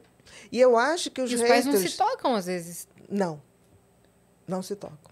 Eu acho que os haters estão muito nesse aspecto é, dessa de uma geração que não conseguiu explodir e ficou ali esperando o que eles têm direito, que eu acho tão engraçado, que tem pessoas que nunca fizeram nada e se falam, mas é o meu direito legal. Eu merecia.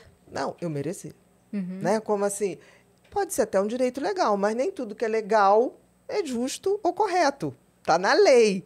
Mas isso não quer dizer que seja a coisa mais ética do mundo. Você viver a vida inteira para receber um, um dinheiro que você não trabalhou por ele. Sim. Eu acho até que é moral, está dentro das regras. Mas não sei se é ético. Né? Então, eu acho que os haters têm uma mistura de gente perversa, que fica ali é, gozando com o sofrimento do outro, como eu acho que tem também um caldo de gente muito invejosa. Sim. Eu, eu Que é, percebo... que é apenas invejosa, daí não é doença, né? Exatamente. É só triste pra É caralho. só mas triste, é. Eu, eu, É, eu... é triste de qualquer maneira. É. É. Eu percebo que tem muito uma situação que é assim. é, A pessoa quer ter aquilo que a outra tem, mas ela não está disposta a pagar o preço que a outra pagou. Então, ela, ela vê onde a pessoa chegou. Mas para chegar lá, a pessoa ralou pra caralho. Mas não quero ralar pra caralho. Eu só vejo a, a- sorte, né? Que é ótimo chamar de sorte. Sim, sim. Eu só vejo a sorte que a pessoa deu. Eu não vejo tudo que ela abriu mão, de tudo que ela trabalhou, quantas horas por dia ela se dedica, mas eu quero estar lá. Então é assim, ó. Eu tô aqui, a pessoa tá aqui. Pra eu chegar onde ela tá, dá muito trabalho. Então é mais fácil eu lutar pra derrubar ela, porque daí a gente fica igual aqui embaixo. Isso mesmo. É isso aí. Isso mesmo. Né? E isso é inveja. Porque tem gente que fala assim: não, inveja é uma admiração. Não, inveja não. O invejoso, ele quer o que você tem. E ele, na cabeça dele, ele, ao você ter, você tirou o direito dele ter. Entendeu? Não existe inveja boa ou ruim. Admiração é coisa boa. Inveja, não. O invejoso acha, se você está nessa posição, Cris, é porque você tirou o direito De da quem outra pessoa deveria. de que quem deveria estar aí. Essa é a cabeça do invejoso. Uhum. tá? É uma cabeça muito esquisita. Uhum. E você estava falando desses grupos, quando eles se juntam em grupo, é aí que eles se fortalecem. Porque sozinhos, às vezes, eles não sentem que eles estão fazendo parte de nada. Quando Exatamente. eles entram para um grupo, aí eles se sentem parte de algo. Eu acho que todo. Tem uma, tem uma frase que eu gosto muito que é, a gente é, evolui e ascende na individualidade. E a gente se aliena na coletividade. É. Né? Nossa, que maravilhoso. É. E, e- e é uma coisa que, se você for ver, o, torcidas organizadas. Eu uma vez tratava um menino adolescente, um fofo. Ele tinha uns 16 anos. O menino era um amor, lindinho, tal, tal, tal. Um dia eu abro o jornal, Ele tá no meio da gangue do Flamengo, mas assim, preso. Eu falei, não tô acreditando nisso. Aí quando eu fui vê-lo novamente, ele, eu falei, você faz isso? Ele, não, só quando eu estou em grupo. Eu falei, mas como assim? Ele falou, eu tenho uma outra identidade. Eu falei, não, você tem uma outra perversidade. É literalmente, é, alienação em grupo é uma coisa muito perigosa. Que loucura, E, né? e é uma, uma, é, e você vê o seguinte, cada vez mais você tem eventos que reúnem mais gente. É. Isso significa que cada vez mais a gente está evoluindo individualmente é, num processo menor. Sim. Os eventos hoje, eu me lembro, é, quando eu tinha meus 20 e poucos anos, o máximo era ir no Canecão, que era uma casa de shows no Rio de Janeiro, que dava mais ou menos mil pessoas. Hoje, um show grande, você pega aí, nem, nem sei, 100 mil pessoas. 100 mil pessoas, é uma coisa surreal. Você acha que alguém ali está em algum momento. Primeiro, que quando começa, o povo já está tudo bêbado, né? Ou doido. Porque marca para começar é, 11 horas da noite, abre os portões às 3, aí a, a última atração entra às 1 da manhã. É, é, é surreal, entendeu? Eu acho. Eu acho que existe hoje. E se a gente for ver bem, existe hoje um excesso de entretenimento sem conteúdo que é, leva uma alienação muito grande e não é por outra razão que a gente não tem gênios nesse século. Qual o gênio desse século? Uhum. Tudo que está aí hoje, raio laser, celular, satélites, tudo a gente deve aos físicos do início do século passado. Sim. Uhum. Tudo. Einstein, Tesla. Não tem Uhum. ninguém. Ninguém esse, esse século não tem um, um gênio. Porque para se criar um gênio, você tem que ter é, silêncio, você tem que ter horas de solidão. Sim. É muita Você- lapidação, É né? muita É. lapidação, não se faz um gênio. Então as pessoas falam: ah, não, mas hoje tem o celular. Sim, mas tudo que levou à criação do celular está no século passado. Você Sim. tá aprimorando. Você tá simplesmente está nada. pegando uma coisa e lapidando. Sim. Não tem E nenhuma porque a, criação. a, a tecnologia por si só, é, a evolução vai acontecendo, né? Sim. Então, as pessoas vão naturalmente melhorando aquilo que elas o usam. computador, né? Ele foi, foi aquele. Teve até um, um filme que foi o jogo. Daquele cara que. Foi O é, da matemática, né? Isso. Do Alan Turing, é isso? É o Alan jogo da Turing, imitação. O jogo da imitação. Você Sim. vê, toda a programação da linguagem eh, digital, que é binária, foi ele que fez. Foi ele. Tudo que está num computador até Tudo que hoje, está sendo desenvolvido partiu tudo a partir daquilo. Uhum. Sem aquilo não poderia nada. Sim. Tudo numa linguagem digital é binário. É zero e um. Uhum. Qualquer mensagem é uma combinação de zeros e uns. Sim. E aí, o que, que a gente faz hoje? Por exemplo, isso eu gosto muito de colocar, porque eu vejo acontecer e vejo que as pessoas não estão vendo. É, você viu como hoje as pessoas estão radicalizadas? Em todos os sentidos. Todos. Não estou falando Pra só extremos. política, não.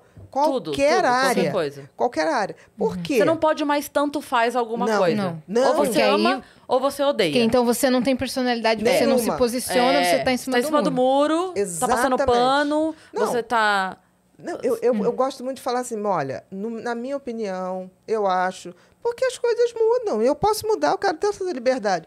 Várias pessoas, quando falo isso, me mandam coisas assim, não fale mais isso, tira Uhum. o poder da sua influência. Eu quero ter poder, alguma coisa. Entendeu? Tipo assim, eu acho mesmo. Pode ser que daqui a 10 anos eu falo, gente, o que eu achava Uhum. Eu estava quero ter o poder errado. de mudar. Eu quero ter o poder de mudar. É. Exatamente. Então, o que está acontecendo? Hoje, as redes sociais, elas que são a grande praça de discussão de tudo. Sim. Desde a cor do biquíni às eleições. Quem é que comanda as redes sociais? Inteligência artificial, Sim. Que é binária. É sim ou é não. Então, se eu curtir um comentário seu, aquela inteligência artificial parte do princípio que nós somos afins.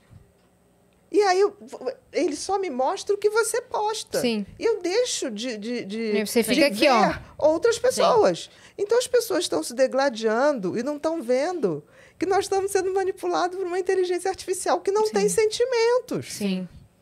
Totalmente. E, e a não gente. sou contra as redes sociais. Nem a gente. Mas a gente Afinal, tem que ter. estamos todos utilizando uma. Exatamente, mas a gente tem que ter a sabedoria Uhum. de, tipo assim, esse- essa máquina, ela não tem sentimentos.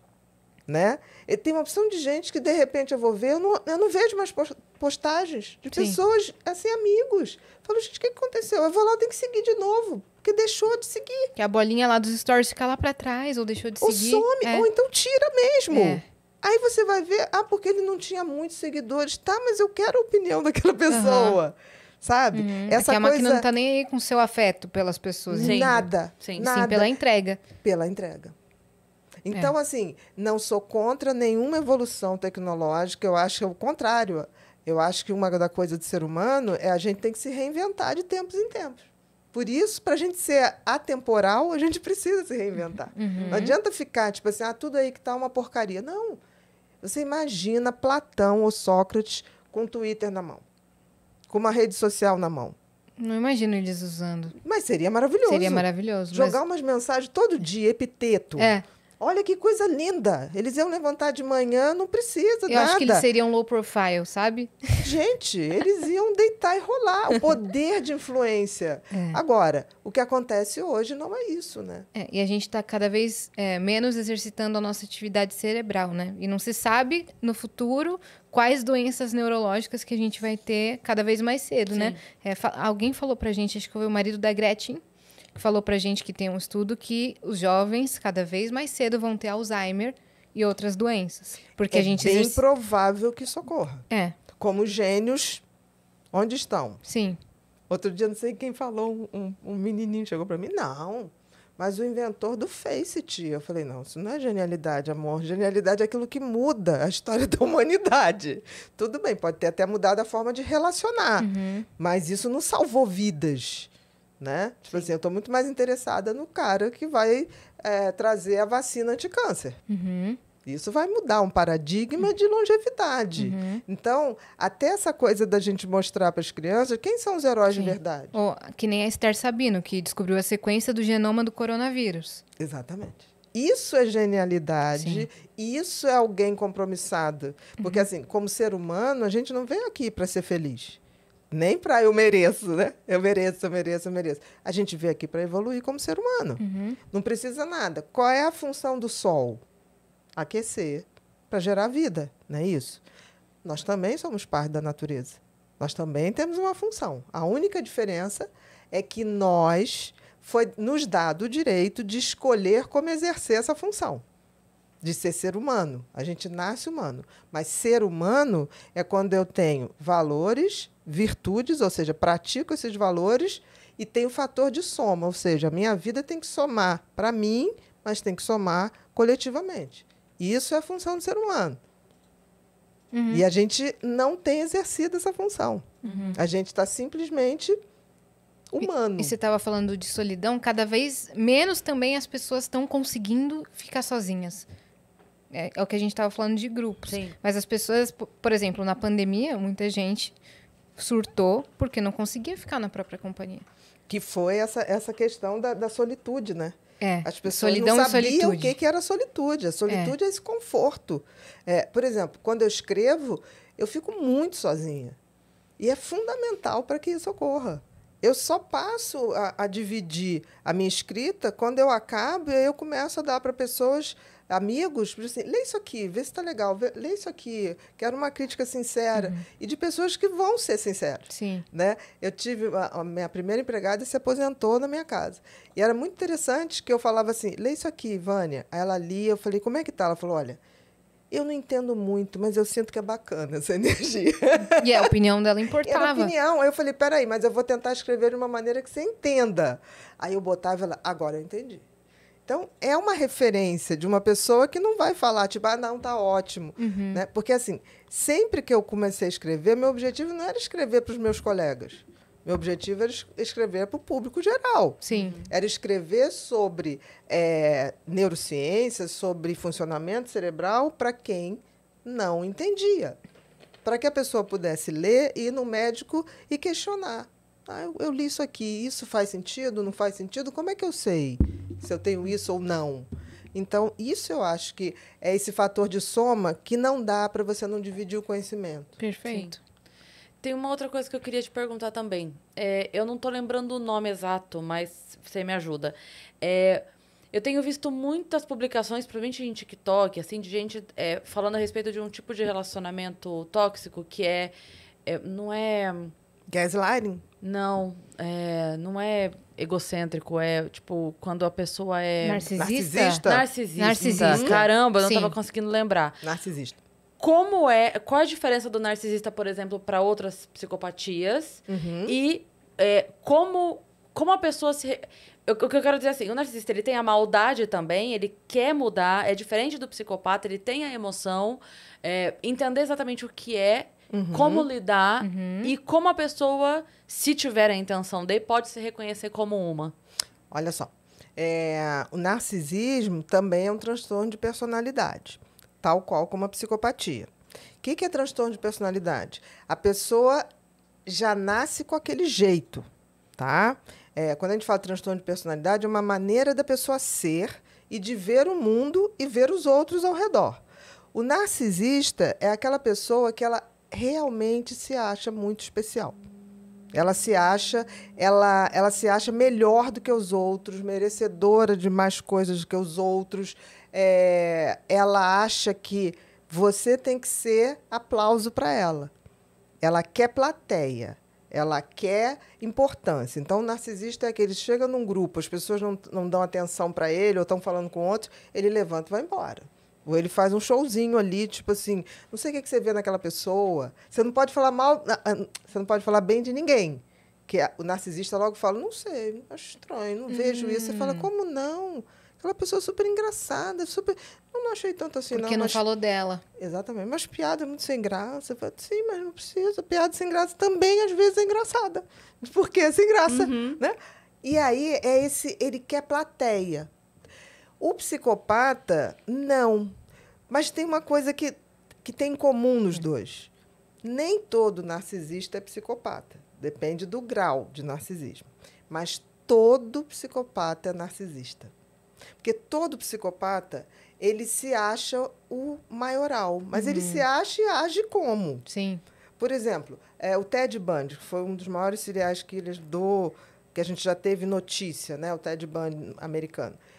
Ele simplesmente dizia, literalmente, eu sou Deus.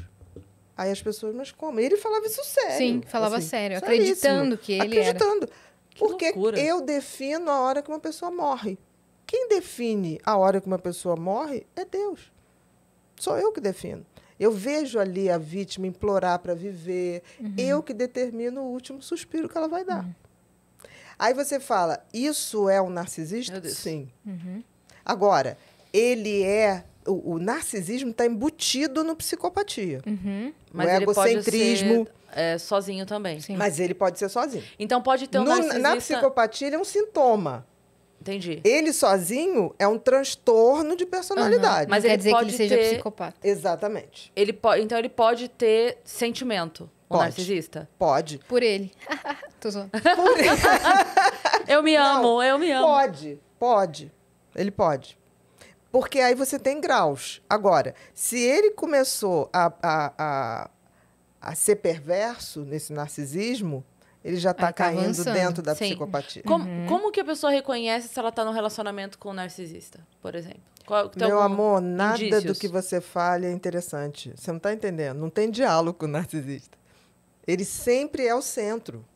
Sabe aquele cara que você sai, ele fala dele o tempo todo. Mas assim, não, porque eu não sei o quê, tá, tá, tá, tá, tá, tá. Não, porque no meu trabalho, porque hoje. Aí você vai falar assim, nossa, eu tô tão cansada. Mais do que eu, você não está. Não é possível, porque eu fiz isso, isso, isso, isso. O narcisista não deixa você falar nada. Ou então você pode falar do tipo, você tá bonito. Nossa, seu corpo tá tão bacana. O narcisista Ele deixa você falar dele. dele. Exatamente. Ele deixa você falar bem dele, né? Ele não tem uma preocupação, então, assim, com, é, com como você se sente, por exemplo. Não. Se você diz A assim, ó, preocupação é tipo assim, você pode se sentir bem para me elogiar ou para me servir. Uhum. É muito difícil um narcisista mudar. E tem Mesmo- pais na- narcisistas também, né? Tem esses casos. Tem narcisista puro, Sim. mas mesmo assim é muito difícil, porque ele não tem um ouvido para o outro. Ele pode até nem fazer maldade. Não Sim. estou falando tá? Porque Eu- não é um psicopata. Exatamente. Ele pode não fazer maldade, mas olha a coisa insuportável você viver com uma pessoa Que não se importa com o outro. que, Que tudo dele é melhor, tudo dele é maravilhoso, tudo dele Que É. ele sofreu mais, ele tá mais cansado, ele sempre mais. Sim. tudo. Nossa senhora. Ou então do tipo, o narcisista faz muito assim, se, se você é uma pessoa muito legal e ele saca, todo narcisista é invejoso, né? Ele não pode ver o outro brilhar. Aí ele começa a denegrir o outro. Não, mas você fala isso, sabe? Tipo assim, é, é, homem narcisista com determinada mulher, ele cata uma celulite para acabar com a mulher. Sabe? Tipo assim, celulite é a coisa mais feminina que existe, né? Sim. Nunca vi não ter. Existe um signo que tem, é mais propenso? Ah, ô narcisista? Felipe!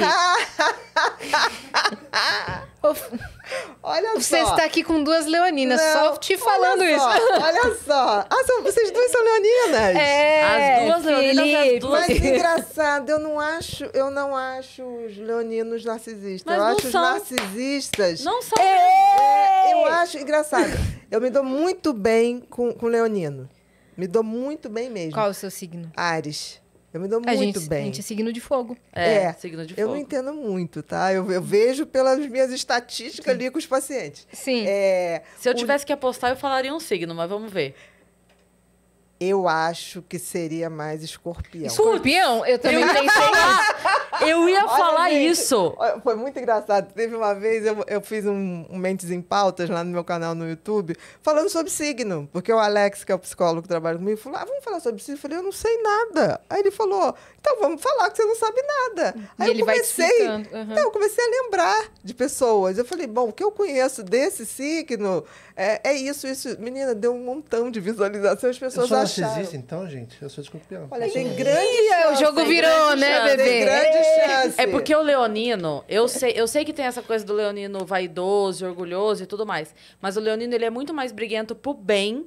Ele é muito mais Tem protetor. super coração. É. Ele é muito mais. Eu brigo, O eu le- sou muito briguenta. Mas você não vai me ver brigando para prejudicar, você vai me ver brigando para proteger. Com Se eu, certeza. se eu tiver Com numa certeza. situação em que. Ah, aquilo ali eu posso fazer para foder o outro, eu É. vou dormir. Agora, se você mexer com alguém que eu gosto, independentemente do nível de gostar, Uhum. é alguém que eu gosto, você tá mexendo com essa pessoa? Cara, aí. Você vai Eu- proteger. Nossa, aí. eu acho gente- leonino nossa. solar, eu gosto, Sim. tem uma alegria. Por exemplo, o, o Alex, que trabalha comigo. O Alex, quando o Alex não tá por algum motivo, o consultório fica meio triste, sabe? Falta um sol para chegar ali.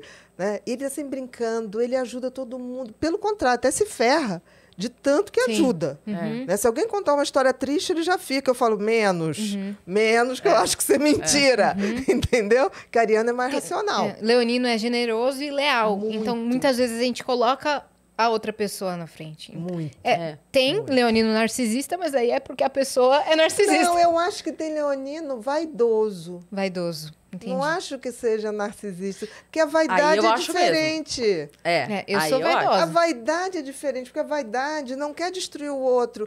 É, é você querer ficar Sim. sentindo melhor com você e até, mesma. É, e até na vaidade ela é diferente. É. Eu já falei isso aqui algumas vezes. Eu não sou tão de me cuidar. Não sou. Uhum. Mas eu tenho uma vaidade, tipo, intelectual. Você quer me ver? A pessoa vai, eu escrevi um texto, a pessoa vai, nossa, que texto foda. Eu falo, ai, obrigada.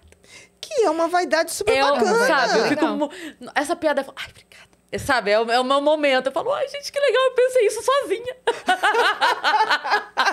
então, a minha vaidade legal. mora nesse lugar, sabe? Eu não sou muito de roupa, não sou muito mesmo, não ligo. Uhum. Mas eu tenho a minha verdade, eu sei que eu tenho. Eu sei que eu, eu sei onde é o meu pecadinho ali, eu conheço. Mas não chega a ser um pecado, porque é pra você. Uhum. Sim. Você não, você não tá buscando ou tirando nada de ninguém. Entendeu o que eu tô falando? é um Sim, movimento sim. seu. Uhum.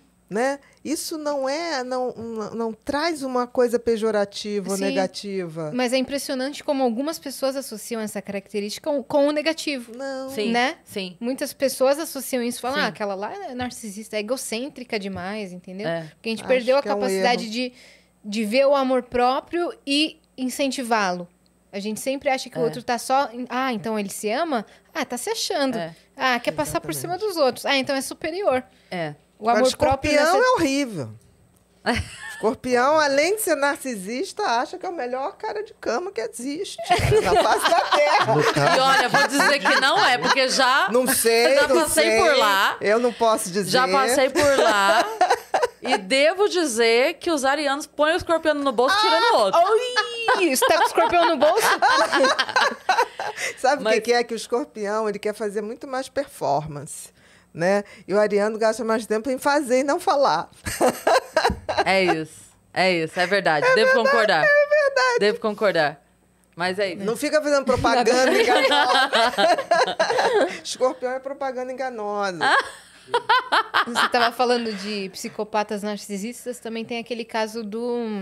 Caso Versace. Versace, sim, né? sim, sim. É, qual o nome? que é esse? Andrew Cunanan é o nome do, do, Do psico- cara que assassinou. Do assassino. Sim. Do caso. sim. É Versace ou Versace? Versace. Versace. Versace. No caso sempre Versace, Eu, sempre eu ouvi como Qual- Versace. Qual que é esse? Eu não tô lembrada. Teve uma série, né? Teve que até uma passou série. uma série daquele American estilista. Crime History. Aquele estilista, o Versace, aquele que era que Da tinha uma- marca famosa? da- Uma Sim. marca que era, era super colorida, super... É que eu não é, lembro, eu tem não uma lembro da história. É, tem um- diferente, é, eu tipo acho. um- Uma medusa. Isso, uma medusa, símbolo. roupas E quadriculados, meio labirintos, É, assim. Bem, bem... Bem diferente. Bem diferente. Caríssima. assim, Hoje em dia existe ainda. Existe, existe. A irmã, acho que ficou. Exato, ficou com a família. É, ele foi assassinado por um, por um psicopata. Exatamente. É, esse psicopata, o Andrew, assassinou outras, outras quatro pessoas, se eu não estou enganada. Todos foram casos amorosos dele. Todas essas outras Caramba. pessoas tiveram algum relacionamento. Só o Versace, que nunca foi provado que eles tiveram alguma proximidade. Ele conheceu o Versace uma vez num evento e ele colocou na cabeça que o, o, o objetivo final da vida dele era matar esse Meu cara Deus. foi atrás dele, mudou de cidade, foi atrás do cara, seguiu ele. E uma vez, quando ele tava indo comprar jornal na banca, deu dois tiros nele. E É o você vê que isso. pro- Versace? É, Gianni Gianni Versace, Versace. isso mesmo. E você vê que isso pro psicopata é literalmente uma obra de arte. Por exemplo, ele, ele botar na cabeça que vai matar o auge, vai matar aquilo, para ele é um feito. Sim. Tem um, um livro que eu não me lembro, eu me lembro o nome do livro, não do autor, de um inglês, de um psicopata inglês que é, contou a história dele toda antes de morrer, que ele já ia para ser morto. E aí o livro dele é Tanto a Fazer. Hum. E aí você vai ver, ele literalmente acha que ele deu sentido à vida daquelas pessoas que ele matou. Sim. Ele acha, abra, ele acha aquela vida medíocre que aquela mulher levava. Eu dei liberdade Eu pra dei a ela. liberdade para ela sair dessa vida Sim. medíocre. E eles têm essa visão. Meu Deus. cara. Ai, como é o nome daquela série? É, como, mulheres, como Mulheres Matam? É esse o nome da série? É, eu não, não Como? sei. Não sei. Pesquisa eu não mim, que vi. acho que é esse. Que aí tem, tem a primeira temporada e a segunda. A primeira temporada é maravilhosa, incrível. Se você já assistiu a primeira temporada, pare nela. É, a segunda temporada, ela é horrorosa. Aham. Mas é, tem, tem uma situação na segunda temporada que é um cara que ele tem essa essa coisa assim, tipo, ah, eu resolvi, eu resolvi o problema dela. Só que ele é, fo- a- ele começou com a mãe, tipo, a mãe era muito doente e tal, e aí a mãe faz ele aplicar a medicação pra ela porque as mulheres matam. Essa Essa, é- essa é a primeira temporada. Fique Vejam nela, essa. fique nela. Fique nela. Ah. Não vê a segunda, não, porque a segunda é horrorosa. Mas tem esse detalhe na segunda, desse cara que ele é, ajuda. Ele fala assim: "Não, eu, eu, eu ajudei a pessoa. Então, ele conhece pessoas. Ele tá aqui vivendo, tá aqui vivendo e tal. Ele conheceu alguém que a pessoa. Ah, eu sou muito triste, eu sou muito sozinha, eu tô muito doente. Ele vai e mata a pessoa. Daí Ele fala: Não, mas eu ajudei ela. É, mas é engraçado que eles têm prazer em matar, né? Sim. Sim! Existe um gozo. É isso que as pessoas não entendem. Por exemplo, para um psicopata, matar com requintes de crueldade é muito melhor do que fazer sexo.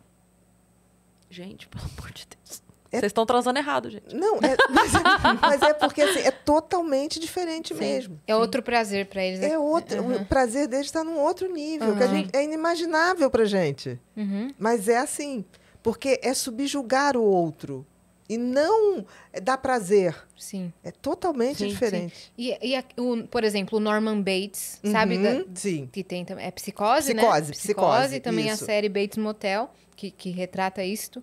É, ele amava muito a mãe dele. Ele era obcecado pela mãe dele. E ele mata a mãe. Sim, mas ali você vê que é um amor doentio. Sim. Né? É Tanto uma que ele se psicose. transforma nela. Exatamente. Tinha, tem uma síndrome que chama.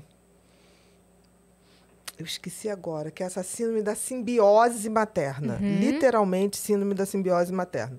Vê se consegue achar aí, síndrome da simbiose materna. E era um amor Psicose. meio tóxico, meio É. doentio, né? Então é como se ali ele já estava numa psicose fora da realidade que para ele ser a mãe, a mãe tinha que deixar de existir. Sim, E aí tem uma Meu lógica Deus, psicótica. sim. Sim. Por exemplo, eu quero ser você. sim, Eu tenho que matar você para assumir seu lugar.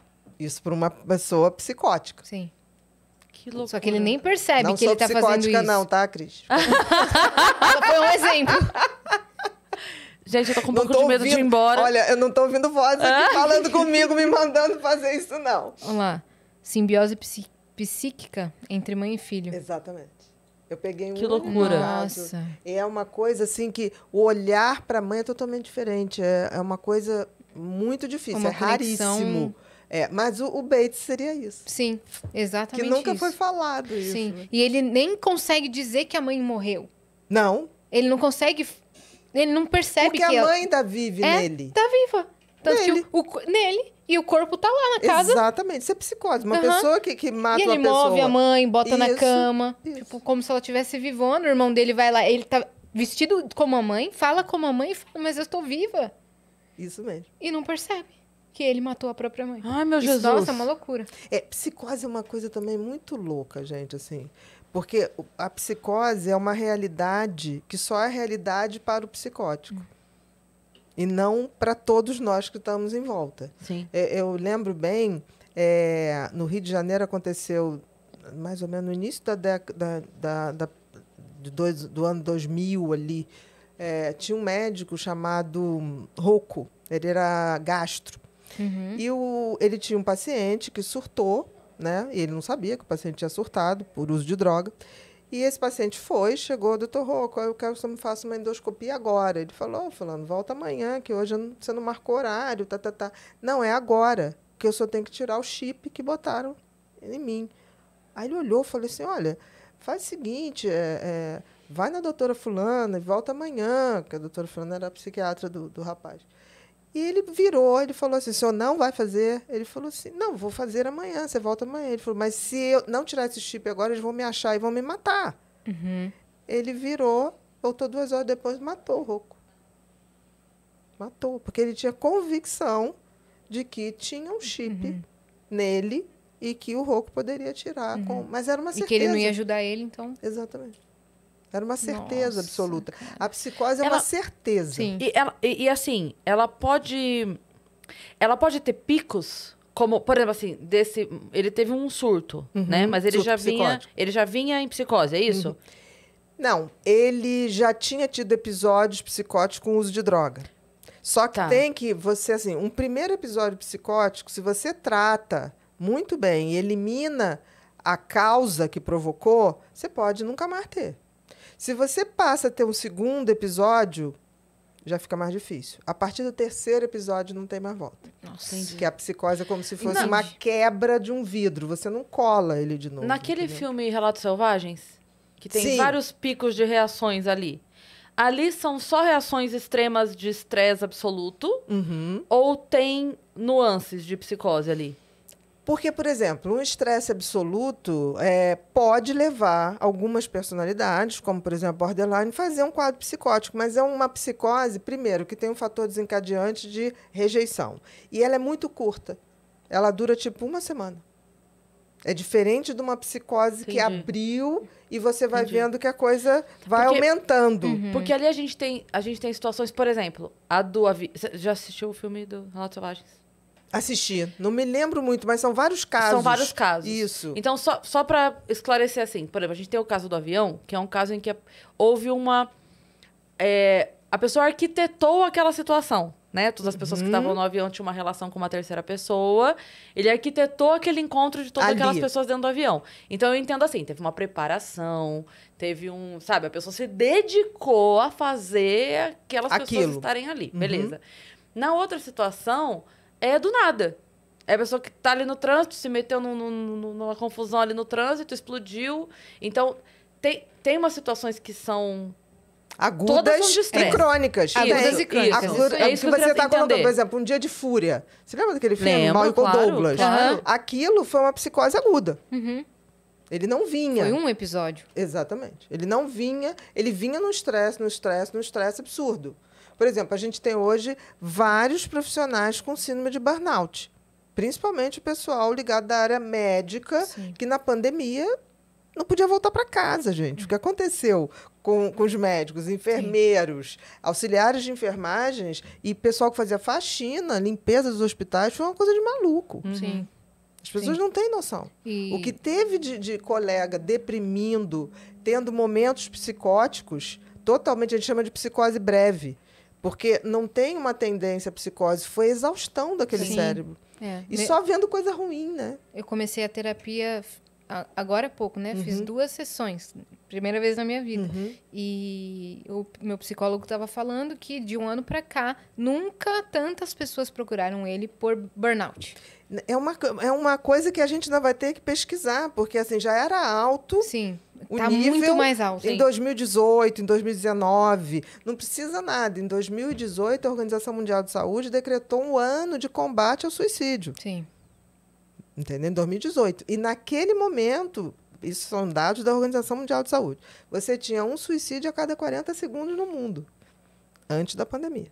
Depois da pandemia, se agravou muito. com certeza, porque deu os dados. Sim. Porque tem uma outra coisa também, o suicídio não é divulgado. Uhum. É que Porque- não pode, né? E que eu acho que é errado. Sabe por quê? Eu não sou contra, eu acho que a forma como divulgam é errado. Porque só divulgam suicídio, por exemplo, todo dia tem suicídio. Mas só divulgam quando tem alguém conhecido, aí as pessoas formam aquilo é como se fosse assim: ah, fulano não aguentou o mundo cruel e suicidou. Faz aquilo quase uma coisa romântica. Isso é ruim Sim. Romantizam. romantizar o, o ato de suicídio, porque o suicídio é a coisa mais antinatural para o cérebro. Tá? E o cérebro faz tudo para sobreviver. O suicídio é o oposto. Sim. Né? Então, eu, eu sou contra, eu acho que a imprensa é, ela tem que arrumar um jeito da gente falar, porque assim, é uma epidemia, tá? É uma pandemia Ignorar não vai silenciosa. Silenciosa. não vai ajudar. Não, mas falar Sim. do jeito que tem que Sim. falar. Sim. Do tipo, 90% dos suicídios são evitáveis. Sim, São evitáveis. sim. Porque são consequências de depressão não tratada, Uhum. de bipolaridade, maior índice de, de suicídio entre bipolar. Sim. Porque o bipolar, ele vai da- de uma euforia, quando ele cai no, no- na depressão, ele É um cai num fundo, muito fundo. Que tão forte que ele pode, ele pode realmente Me falaram isso uma vez, que a, a pessoa que ela tá acostumada com a nuance, é mais difícil ela cair e não conseguir levantar. Exatamente, exatamente. A pessoa que tá que não tá acostumada com a nuance, que tá sempre bem, a hora que cai é mais difícil de... É que nem coração, né? Por exemplo, é, é, entre 30 e 40 anos, você ter um infarto agudo é muito mais mortal. Sim. Por quê? Porque depois de 40 anos você começa a fazer a tal da circulação co- colateral. Que o coração já vai ficando mais rígido, o próprio organismo vai criando novas circulações, como vai criando as veiazinhas Uhum. da gente. Sim. Então, o que, que acontece? Quando tem um infarto mais velho, já tem circulação colateral sustentando. Uhum. Porque já Entendeu? tava meio que. O corpo já estava se preparando. Para o envelhecimento. Exato. Para essa, para esses eventos. Agora, quando a gente tá aqui jovem, o coração lá, tá, tá, tá. no máximo, Se né? tem um infarto, é. Ele geralmente é fatal. Sim, eu vi eh, no, no, no Twitter alguém escrevendo. Chegaram aqui no hospital, chegou uma jovem de 23 anos, caminhando lento, com, com uma dor no peito, Uhum. não estava se sentindo bem, infartou, faleceu. E outra coisa que a gente tem 23 hoje, anos. Yasmin, que me preocupa muito, a gente está tendo um boom de câncer de fígado e de infarto em jovens. Por Álcool. conta, não só álcool, álcool anabolizante. Nunca se usou tanto anabolizante. E mulheres, né? Nós somos mais, é, mais. Você, por exemplo, a nossa constituição física eh, tem muito mais tecido de gordura do que os homens. Porque os homens têm mais testosterona e a gente tem mais estrogênio. Ok? O que, que acontece? Você hoje vê mulheres com zero gordura. Aquilo não existe sem bomba. Como também os homens, depois de uma certa idade, aquilo não existe sem bomba. E não é bom pro corpo não ter gordura nenhuma. Não pode, porque a gente precisa de gordura para fazer hormônio. Sim. Por exemplo, uma menina anoréxica. O que, que acontece com a menina anoréxica? Deixa de menstruar, Sim. porque ela deixa de ter hormônio. Uhum. Então, o que, que acontece hoje?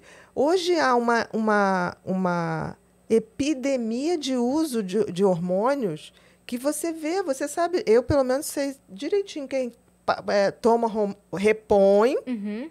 ou quem usa como essa coisa de aumentar a força física, é, é, aumentar a oxigenação. Aquilo ali, hoje, é responsável pelo maior índice de infartos agudos em jovens Meu e Deus. câncer de fígado. Meu Deus. Então, hoje você está pegando um cara de 42 anos, porque leva mais ou menos 10 anos, se você usa muita bomba, para você ter um câncer de fígado. Então, quando você vai ver, câncer de fígado é silencioso. Quando você vai ver, já está em metástase. Mas é a busca pela estética padrão. E por isso que muita gente também tá morrendo em mesa de cirurgia. Com certeza. É. E é isso que é um que eu outro falo. assunto que a gente devia também trazer um profissional para tratar. Um assunto Exatamente. importantíssimo para conversar aqui. Sabe por quê? É assim, é... e o pior é que você vê o seguinte, que é esse padrão que vende. É, eu tenho, por exemplo, é, e, como, e como as redes sociais é fake, né? Se fake fosse processo, eu nem sei como é que ia ser. Porque a quantidade de pessoas que, que hoje estão ali, nas, re- eu digo que 90% da rede social é fake. É, falando coisas, dizendo coisas, é, vendendo é, fórmulas mágicas de felicidade, Sim. de como ficar bem, fazendo um exercíciozinho, tá, tá, tá. 90% E tem aquele negócio que parece clichê, mas existe, né? Que é a positividade tóxica. Totalmente. Não, não é clichê, não. Não é não? Não, é verdade. A positividade tóxica é a pior coisa que tem, é a tal da ditadura da felicidade. O que que é a ditadura da felicidade? Você não pode falar nada que não seja muito legal. Você tem que contar coisas extraordinárias. Aí você, vamos lá. Positividade tóxica é caldo de cultura para narcisistas. Uma coisa está ligada à outra. Meu Deus, cara. Entendeu? Total. Exatamente. É um isso. movimento. É um e aí as movimento. pessoas falam Brasil. Gente, é um movimento global. Global. Né, é, Eu hoje acho tão engraçado quando as pessoas falam, não, mas aqui no Brasil eu falei, gente, então vocês não estão olhando Sim, o universo ao redor. Sim. sim. Por exemplo, Até porque a gente nunca foi criador de tendência, né? Vamos Sim. lembrar. É, exatamente, eu a gente tá adoraria copiando falar tendência isso. há muitos e muitos anos. Hoje você vê um, um- um- o Putin, eu não tenho dúvida que o Putin é um psicopata. Do- o narcisismo no Putin é uma coisa absurda. Uhum. Aquela, aquelas cenas dele andando no cavalo com os peitos de fora, cara, é surreal. Sabe? E um cara de uma frieza. Aí outro dia eu estava vendo um cara que estava fazendo leitura, que ele fez assim, estava com medo. Medo nada. Ele estava com aquela coisa de desprezo. Tipo assim, caguei, vou fazer isso mesmo, é isso que eu vou fazer ponto. Ele vai voltar atrás? Não. Porque assim, ele não tem. Qual é a saída do Putin hoje? Não tem. Ele jogou uma carta mais alta do que não sei o quê. Ele não tem medo. O psicopata não sente medo. Ele não tem nada a perder. Ou seja, se ele, se ele eh, recuar, ele perde o poderio dele. Ele não vai entregar o poder. Ele não vai. Ele só tem duas coisas. Ou ele vai avançar e realmente fazer uma, uma terceira guerra mundial, mesmo, e vai eh, ter de parceiros vários outros ditadores. A gente vai viver uma nova era de ditadores psicopatas. Ou então ele se mata para entrar para a história. Se ele tiver todo cercado, como fez Hitler. Sim. Você acha que Hitler morreu porque estava com medo? Não. Porque morrer para psicopata não tem essa, esse peso que tem para gente. Eles já são deuses. eles não vão encontrar com Deus, eles já vivem com ele. Né? Então, assim, ele morreu para não se entregar, para não dar o gosto para outro, Pra entrar pra história mesmo. para entrar para a história. Nossa. Que loucura. Nossa. E tanto que ele- o Hitler deixou tudo organizado, né? Tipo, chegou para os funcionários, olha, vocês vão, mas antes de ir, vocês me botem fogo. E ele se deixou botar fogo. E era uma ordem que tinha que ser cumprida. Vocês vão fugir agora, mas vocês vão me botar fogo aqui. O que, que te levou a escrever o Mentes Perigosas?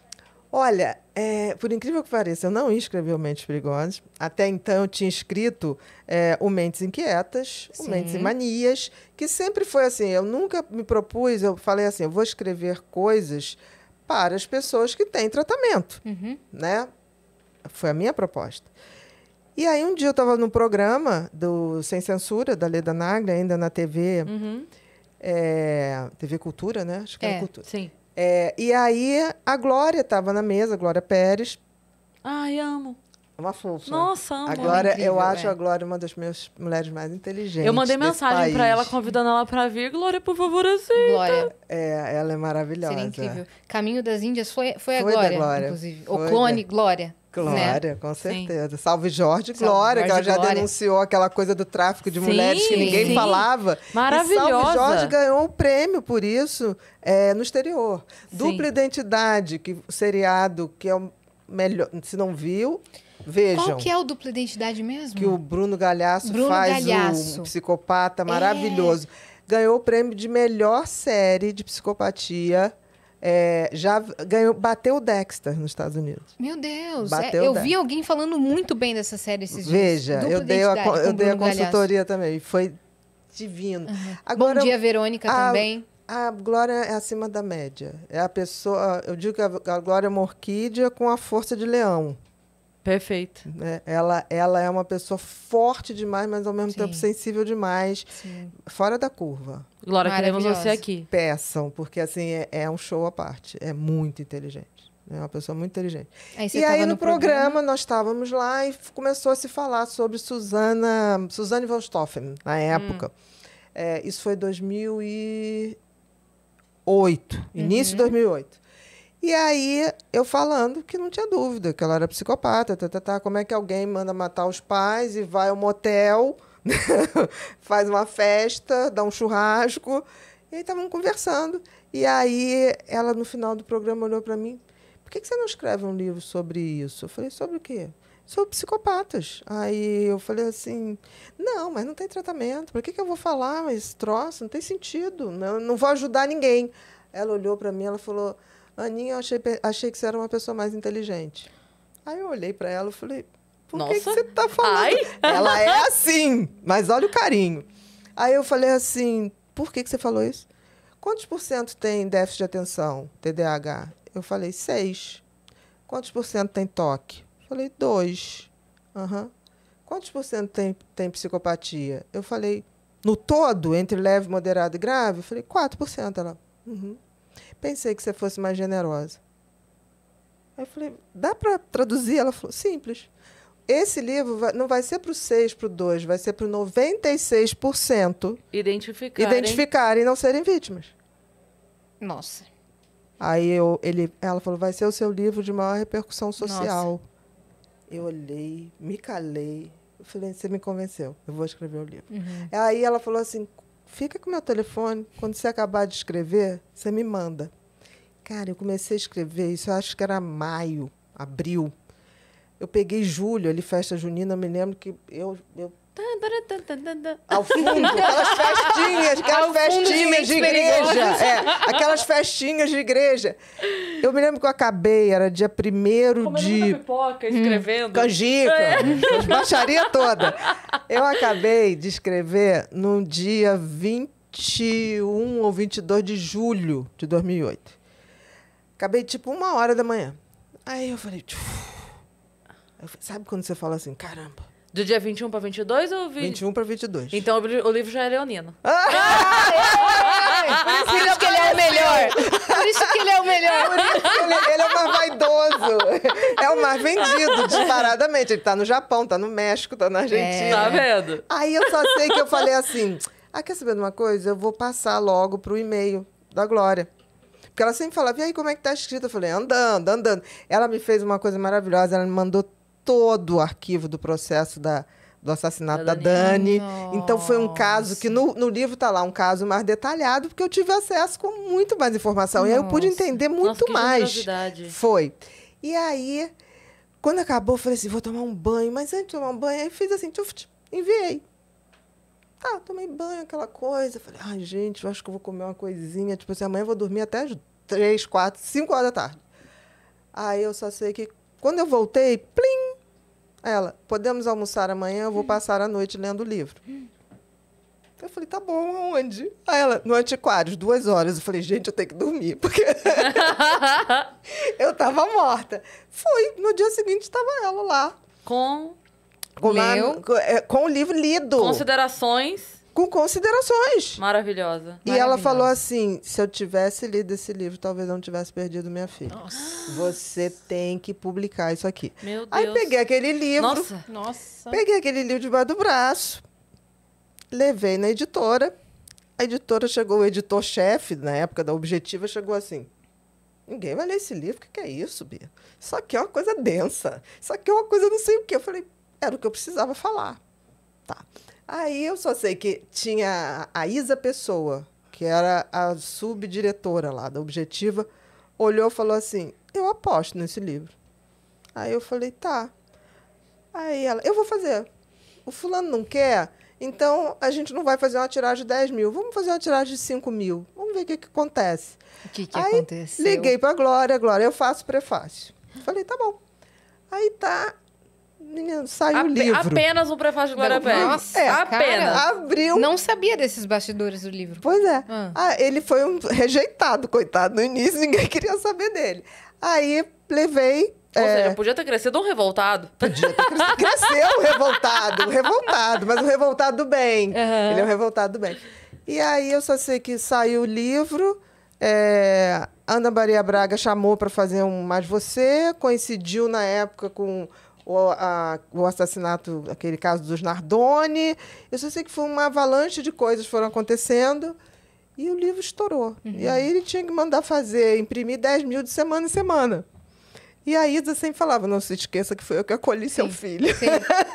Fui eu que apostei. É. Exatamente. É. Então, assim, não era pretensão Você escrever. sabe que é, esse caso dos Nardoni, ele mudou o meu comportamento com a minha filha e a família do pai dela. E muda, né? Porque a, a esposa tinha comportamentos é, estranhos com a minha filha. Que não, eram, não eram necessariamente violentos, que ela Uhum. Sim. não é doida, Sim. né? É, mas pra acontecer, eu falava assim, cara, eu não vou arriscar.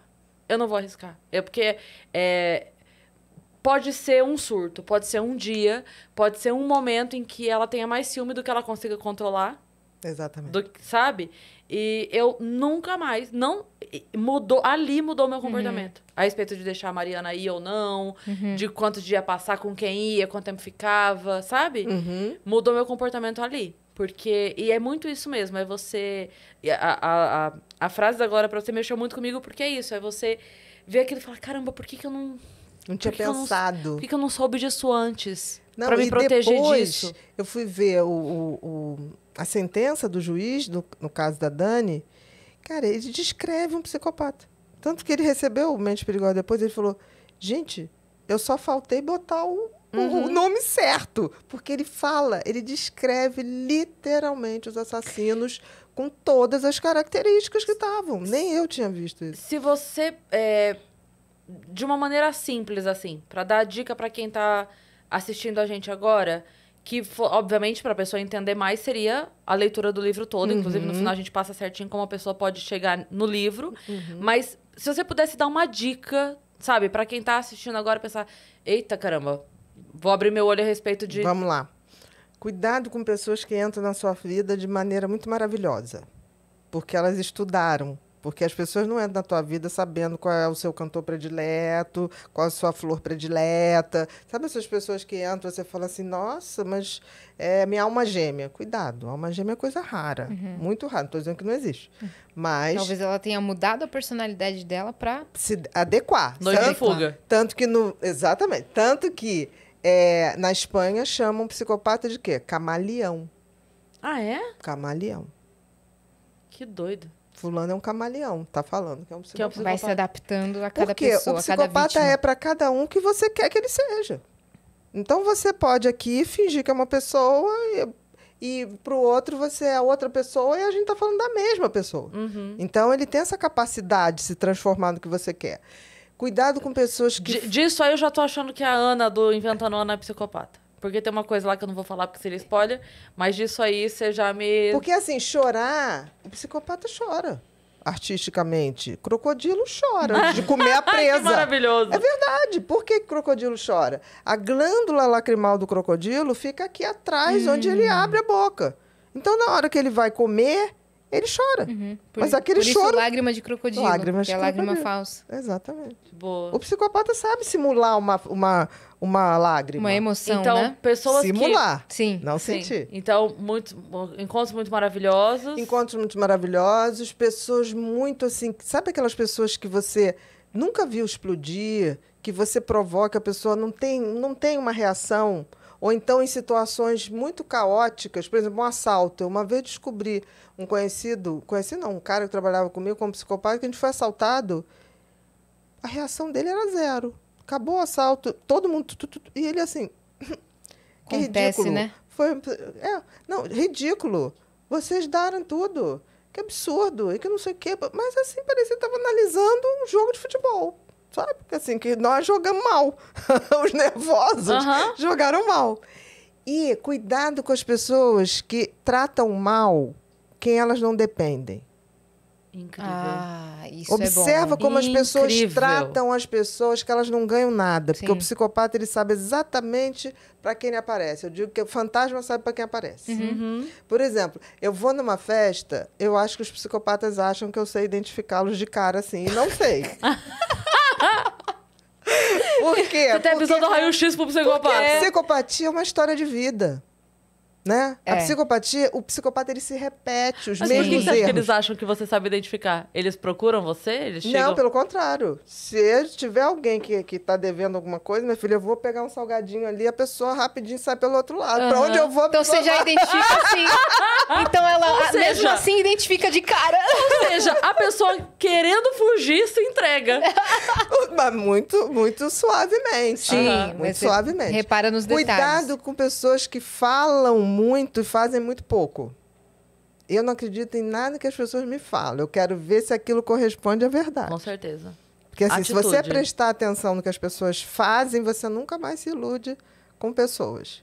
Porque tem gente que tem um discurso bonito. Discurso mais bonito que político, gente, pelo amor de Deus. Uhum. Por sinal, o índice de psicopatia em política é muito alto. As profissões mais, né? Políticos, entre os médicos são os cirurgiões.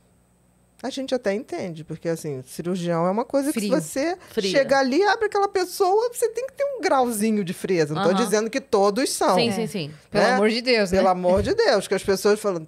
Tenho no ranking advogados. Isso tem a ver com o fato de terem mais cirurgiões homens? Essa frieza, talvez? Olha, se você. Menos emocional e mais razão, assim? Pode ser. Não tem nenhum estudo para eu te citar sobre isso. Mas pode ser. Mas eu conheço mulheres brilhantes cirurgiãs. Ah, sim, Aham. não, não, mas eu digo, talvez essa facilidade A maioria, não se né? envolver. Não, não sentir tanto. Sabe? Esse- Faça com É que mais o homem fácil. queira se É. tornar E- cirurgião, é, é, isso? sabe? eu entendi. É, porque assim, me- repente a ser mulher- mais racional. Isso. Né? É, de Ser repente mais a mulher, racional. ela ter esse lado mais emotivo. Você está falando uma coisa interessante, Cris. Por exemplo, é, eu acompanho muito paciente, ainda mais paciente que tem pânico, que aí quer fazer uma cirurgia, quer fazer plástico, uma paciente que fez redução é, bariátrica depois vai fazer, fica com medo. Ah, Bia, pode me acompanhar? Vou, não tem o menor problema, só marcar com antecedência. A cirurgia, o centro cirúrgico do homem operando é totalmente diferente da mulher. Por quê? O homem operando, eu gosto de estar falando isso. Ele fica falando de futebol, ele está lá operando e fica assim: você viu não sei quem, não sei quem, fulano, não sei o que lá. É como se não tivesse um um corpo ali. A Aham. mulher operando é concentradíssima. Concentradíssima. Eu lembro, Nossa. na, ces- na- na minha cesárea, Interessante quando eu isso, fui né? ter a Mariana, eu É agora que lembro perfeitamente. Eu lembro do. Eu aqui, porque na cesárea você tá acordada Sim. e você tá, né? Peridural, assim, se você é. fez peridural Aqui. aqui. Tô, É. tô tranquilona aqui. é. Só muito frio, porque tava um frio desgraçado. E eu tava com frio daqui pra cima. Uhum. Era a coisa mais engraçada, porque a anestesia pega daqui pra baixo. E eu tava com nada. tosse. Só que aí eu, conseguia respirar, mas eu não conseguia dar o, o- a força do abdômen pra, pra tossir. tossir. Então eu ficava assim. Era a coisa mais engraçada. Todo mundo ria na sala. Todo mundo ria. Cada vez que eu tentava tossir. Mas o que eu ia falar é que eu lembro perfeitamente de eu estar aqui e os homens lá cortando, não sei o quê, não sei o quê, não sei o quê. E eles estavam, te juro, tinha inaugurado um supermercado na cidade. e eles estavam dizendo que, ah, porque eu, eu vi o preço do achocolatado. Nesse supermercado, tava em promoção. E aí tava valendo a pena porque no outro. Eu juro, eles me cortando, eu estava ouvindo sobre o preço O de centro cirúrgico Eu lembro de perfeitamente homens disso. é muito assim. Eu, eu lembrei agora de várias cirurgias também, não tinha parado para pensar nisso. Como se não estivesse fazendo Eles nada. falam ali, ó. muito de futebol, eles falam assim, você viu que fulano tá comendo aquela mulher assim, mas é normal. Aí, uma vez eu perguntei, falou, não, é pra relaxar, pra gente não ficar tenso. No- eu sim, falei, tá. sim. E, por exemplo, Ainda bem e que eu, e eu falando assim, ainda bem que o paciente tá dormindo, né? Ele É, panicado. e a ó, eu tô doutora Ana aqui. escutando Não, e eu falando assim, falei, gente, acontece comigo também. Já a cirurgia de mulher é totalmente diferente. Foco, Por exemplo, a melhor cirurgia plástica que existe é uma mulher chamada Bárbara Machado, que foi sempre o braço direito do Pitangui e depois, nos Sim. últimos 20 anos, já era ela, né? Não era mais o Sim. braço, era ela. Então é com ela que a gente quer E a conversar. coisa. É. ela é maravilhosa, maravilhosa. O que, que Será que dá aconteceu? tempo ainda em março, Dani? Será que a gente... Bárbara Desculpa, Machado. É. É porque a Bárbara gente, a gente tá Machado. Fazendo Bárbara um- Machado. um, mês de março de mulheres fodas, inclusive por isso você está Oh, que aqui. coisa boa. E a gente queria, tipo assim, a- as picas de cada profissão. Poxa, eu posso falar com a Bárbara. E temos Vai ser uma algumas datas honra. no final do mês ainda. Posso falar com a. Bárbara. Vai ser uma honra. Porque assim, a Bárbara é é uma mulher pequenininha e eu me lembro que eu já vi várias cirurgias plásticas que ela fez e foi a única que eu deixei mexer no meu rosto, né? é claro, depois que eu vi, eu falei, é essa. É essa. não tem- É. Gente, ela entra, ela bota uma bancadinha, sobe, né?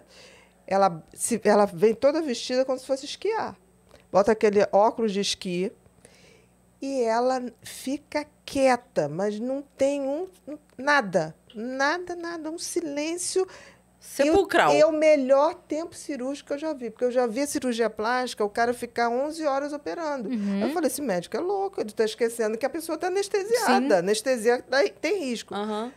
A maior cirurgia da Bárbara, ela tem um tempo cirúrgico exato, não passa de 3, 4 horas. Meu Mas Deus. assim, com tudo feito, refeito. Perfeito. Pode acordar a pessoa. Pode acordar a pessoa. Meu Deus. Inacreditável. Incrível. Inacreditável. O bisturi gosta dela. Aham, Não tinha aquela história que a bola amigos. gostava Aham. do Romário. Sim. Sim. O bisturi gosta dela. Acho que vem na mão dela e começa. Cara, eu tive, eu tive um, um pequeno acesso de pânico antes de entrar. Eu fiz a rino e eu já contei pra Yas aqui Hum. que eu tive. A hora que eu fui. Tava tudo certo, era o sonho da minha vida fazer. Tava tudo certo, fui lá, guardei dinheiro. Ah, isso aqui, vamos. Escolhi o cirurgião que já era conhecido de todo mundo, já tinha muitos amigos que tinham passado, porque também é A aquela coisa, tem- você é. não vai, né?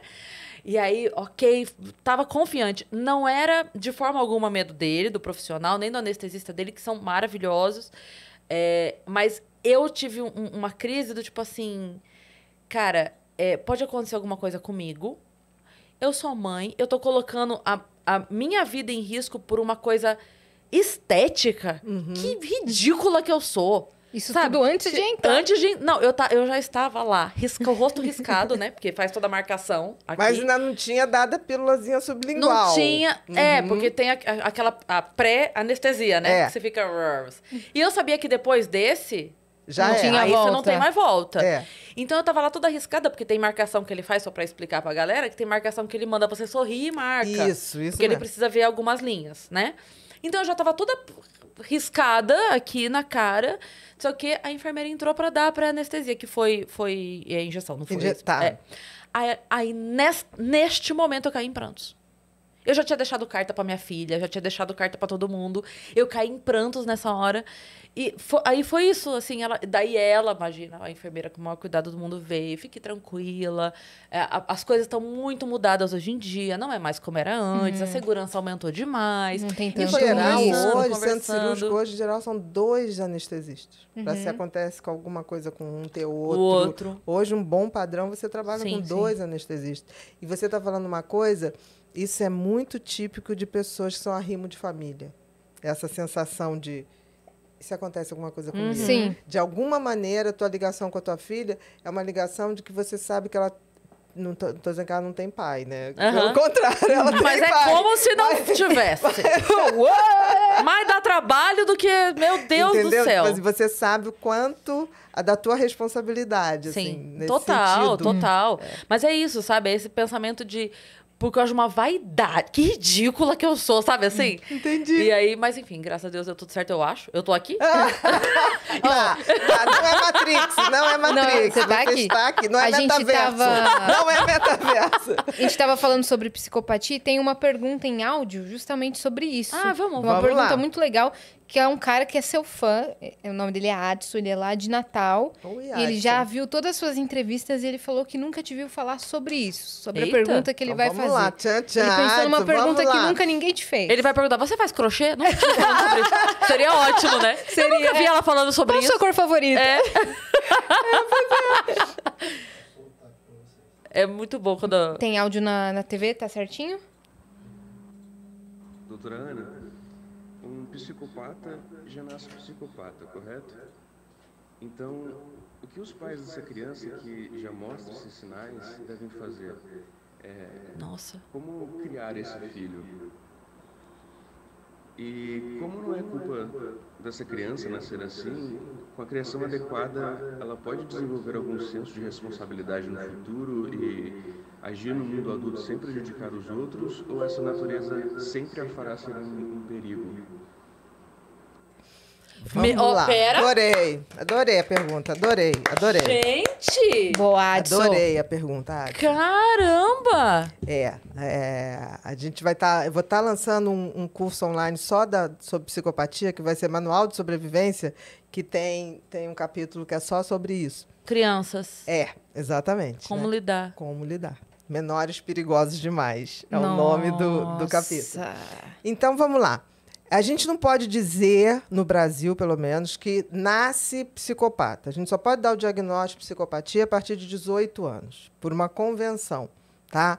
Mas a gente sabe que o funcionamento cerebral do psicopata é uma coisa que já vem de fábrica. Como também a nossa empatia já vem de fábrica, ou seja, o senso moral, tirando os psicopatas, vem de fábrica. Por isso que um bebê de oito meses olha para uma criancinha que cai ou um bichinho que se machuca, ele faz assim. E ele quase chora. Aham, Você já pegou sua aham. filha fazendo isso, Sim. tipo assim, olhar para alguém, não entender nada, ainda é bebê, e alguém tá chorando, ela Sim. faz a carinha de empatia, de um Sim. cérebro que lê o outro. O psicopata não tem isso. Então, a criança que tem essa predisposição para afirmar esse diagnóstico, ele não tem essa empatia. Então, desde muito cedo, o que ocorre em volta dele que causaria um certo mal-estar na gente, não causa nele. Eu não sei se vocês viram aquele filme Precisamos Falar sobre Kevin Sim, Eu eu, vi. vi. Né? Então ali tá, tá bem explicado isso. Então essa criança manipula os pais, joga um pai contra a mãe. Eu atendi. Ah, tem aquele do Macaulay Culkin, não tem? Do Anjo, anjo Tem Mal? o é isso? também. Exatamente, tem também. Ele é uma criança psicopata. Isso. Ele é uma criança que certamente vai virar um psicopata, que a gente diz. Porque Sim. Aham. característica, maltrata irmãos, mal, tem prazer com isso, maltrata Animais. animais. O Dexter. Sim. Aquele seriado Dexter, o, o pai chega pra ele e fala: Por que, que você matou o cachorro da vizinha? Porque o cachorro da vizinha parece morto. Aí ele chega. "Vo- Foi você, né, Dexter? Não, não foi. Não. Por fim, ele falou: Foi você. Aí ele fala assim: Não, porque a mamãe falava que ele latia demais. Aí ele falou: Mas por que, que você fez? Porque eu queria ver ele sofrendo. Porque quando a criança, até seis anos, ela não mente. Ela fala do prazer. Depois, na verdade, depois ele aprende a... A mentir. Porque ele sabe que não pode mais falar. Mas no início, a criança que tem essa, essa predisposição, ela fala disso com Sim. muita naturalidade. Naturalidade. É, É. Na verdade, ali, até, ó, até os oito anos que a gente vai inserindo a criança no certo ou errado. Exatamente. Então, aí, dessa fase, ele, enten- ele entende que é errado, então eu não posso fazer, então eu vou mentir se eu fizer. Mas daquele vai E deixar vou de fazer. manipular É. para poder fazer escondido. Sim. Entendeu? Nesse sentido. Então, o que, que acontece? Tudo vai depender do grau de psicopatia. Você tem psicopatia Caramba. leve, moderado, grave. No grave, não tem o que se faça. Então, deixa, deixa eu é, completar a pergunta dele, então. Porque você... Inclusive, o pessoal não entendeu o áudio porque saiu meio baixo na TV. Então, o pessoal não conseguiu entender. Já, já vamos reforçar a pergunta que ele fez Boa. sobre é, como que os pais que identificam esses sinais de psicopatia na criança podem criar essa criança e, se Sim. bem criada, ela vai se tornar um adulto com responsabilidade afetiva ali com os outros adultos. Ou se isso vai sempre se sobrepor. Exato. Então, é, eu queria então completar a pergunta Então, dele, porque você falou que é, tem-se por convenção dizer isso só depois dos 18 Sim. anos. É, seria melhor, no teu entender, que pudesse fazer esse diagnóstico antes? Ou. é, porque assim, qual é, qual é o motivo para que isso não se faça antes? E se você acredita que seria melhor? É o motivo para não se fazer antes é o motivo que a gente bota tal da maioridade, né? Por quê? A idade mínima para você responsabilizar uma pessoa. Porque o cérebro passa por dois momentos de amadurecimento. Um mais ou menos ali entre 6 e 8 anos e outro entre 16 e 20. E nos homens lá pelos 50, de novo. Eu acho que evolui nos 50. Lá pelos 50, Aí por aí. uma recaída, Ele- é, exatamente. Então, eu acho assim que realmente existe isso. Mas isso vale para a grande maioria das pessoas, não muito para o psicopata. Se for leve e moderado, uma educação onde você não deixa ele manipular, porque é uma criança muito inteligente, racionalmente falando. Ele sabe que, por exemplo, com o pai ele consegue umas coisas, com a mãe consegue outras Já é camaleão desde pequeno. já é camaleão de pequeno. Então, por exemplo, acontece alguma coisa, a culpa é da empregada. Né? Tipo assim, ele, ele sabe jogar, ele sabe é, fazer uma coisa de indução de pensamento nos outros. O que o Kevin fazia muito no filme. É, jogava a mãe contra o pai, é, fazia uma coisa ali terrível. Então, o que, que acontece? A única coisa que o- o- a gente sabe é que uma educação não cria um psicopata. Ele já vem com aquela tendência. A gente tem que rezar para que venha com uma tendência para não ser o mais grave. branda. Porque uma boa educação, você modula a intensidade. Por quê? Porque se eu- ele sabe o que é certo e o que é errado, mas ele faz porque dá prazer. Ele sabe distinguir o que é certo e errado. Por isso que nos países onde você, é, por exemplo, na Inglaterra, não, não, se, não se determina o crime pela idade. O que, que eles fazem?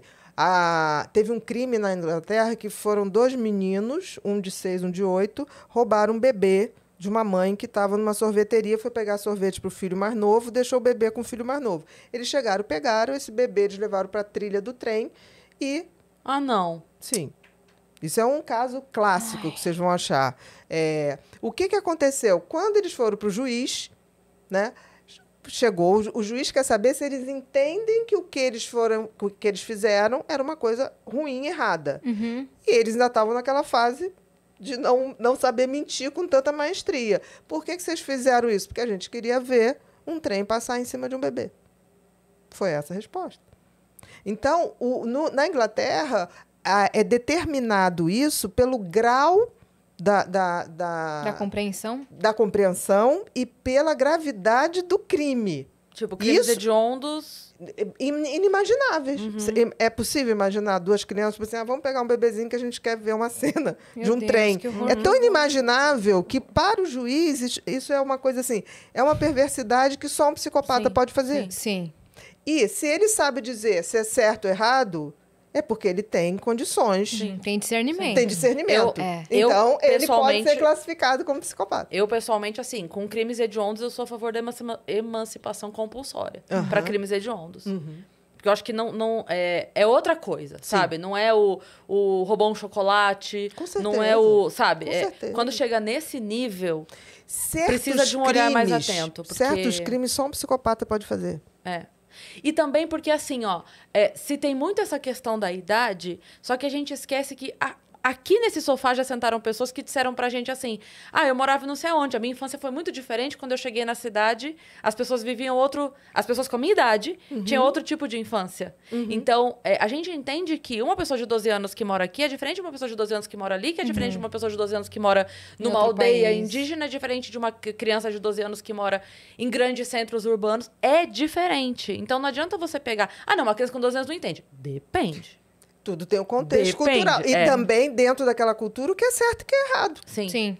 Por exemplo, existem crianças que moram em comunidades, né?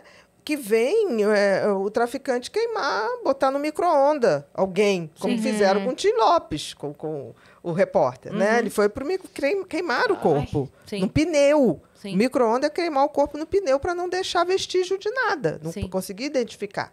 Né? O que, que acontece? É, existem crianças que não são psicopatas, mas ao ver aquilo, eles começam aquilo ser uma coisa Normal. natural, não sei nem se normal, natural. Aqueles que podem sair, saem.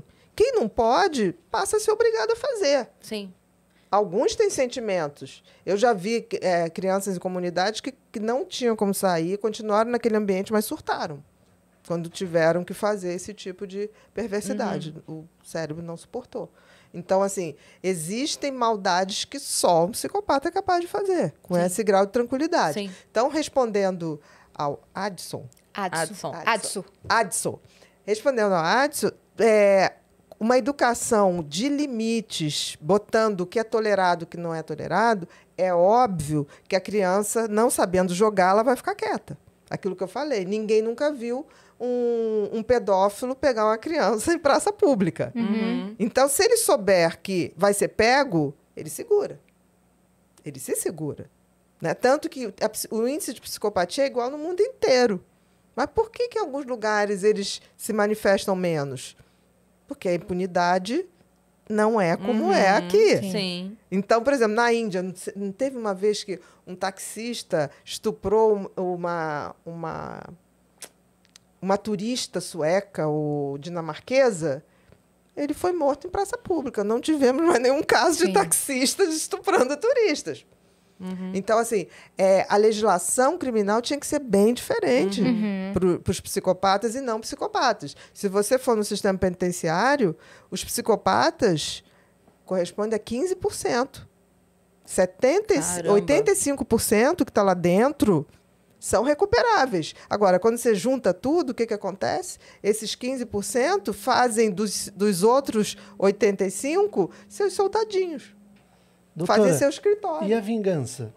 A pessoa não é uma psicopata, mas ela, por vingança, ódio de ter sofrido algo muito hum, ruim, ela pratica a mesma coisa que a outra psicopata fez, mas por vingança. Ela se torna uma psicopata por fazer isso? Não, não se torna. Tá. Não, não se torna uma psicopata. Agora, tem que ver o que, que é essa vingança.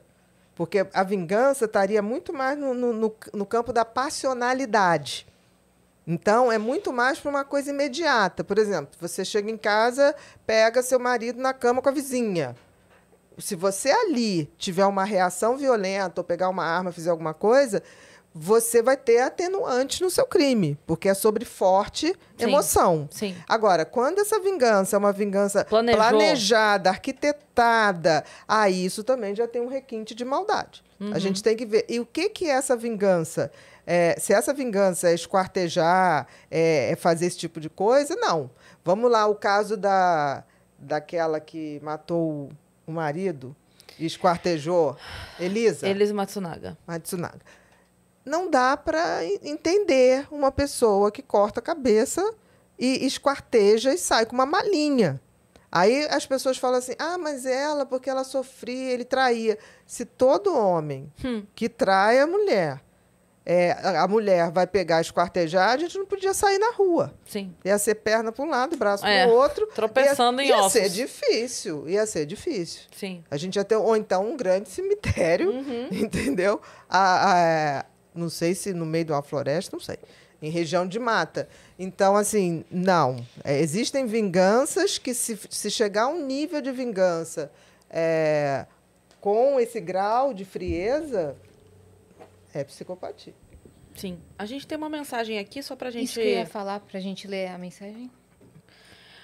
Do Fi Portes. Ele mandou: Olá, Cris, Yas e Ana Beatriz. Ótima conversa. Cris, sou de Ares. Não, e ele, olha aqui, sou de Ares e levemente acima do peso, e três piscadinhas. é que eu, eu gosto de gordinhos, aí eu falo isso com alguma frequência aqui. Adoro seu stand-up e já estou com o ingresso comprado pro dia 3 do Risorama. Ah, caramba, Aí agora eu sim. gostei. Aí tem até Adora- data do encontro. É isso aí. Ado- Adoraria tirar uma foto com você. Pois então, esteja, mar- esteja marcado. É isso. Vamos tirar uma foto. Muito legal. Cara, vou aproveitar e já divulgar pra todo mundo. Dia 3. Com certeza. Vou estar no Risorama, lá em Curitiba. Um baita festival. O maior festival de comédia que tem. O mais antigo, o mais tradicional festival de comédia do Brasil. E Curitiba, né? Todo ano eu faço. É, em 3 de Curitiba. abril. Em 3 de... é, na verdade, duram cinco dias. Ele vai acontecer do dia 30 ao dia 5. Uhum. Eu faço o dia 3. É, no, meu, no meu dia tem uma galera que tá começando, tá? O Danilo Gentili. Ah! pessoal, que eu tô Pessoal que acreditando. Eu né? adoro o Danilo. o pessoal que Inclusive, eu tô entrevista lá acreditando. foi muito boa, Eu né? adoro o Danilo. Pessoal aí que eu tô acreditando, tô dando uma força sim, pra sim, eles. tô- sentindo, Sabe? tô sentindo, É, estão é. precisando, estão precisando. Então, é, mas todos os dias estão muito bons, o elenco de todos os dias no Risório. Sempre é muito foda, então, como seu ingresso, vai. Fiportes, nossa foto dia 3, tá marcado. Tá marcado. Boa.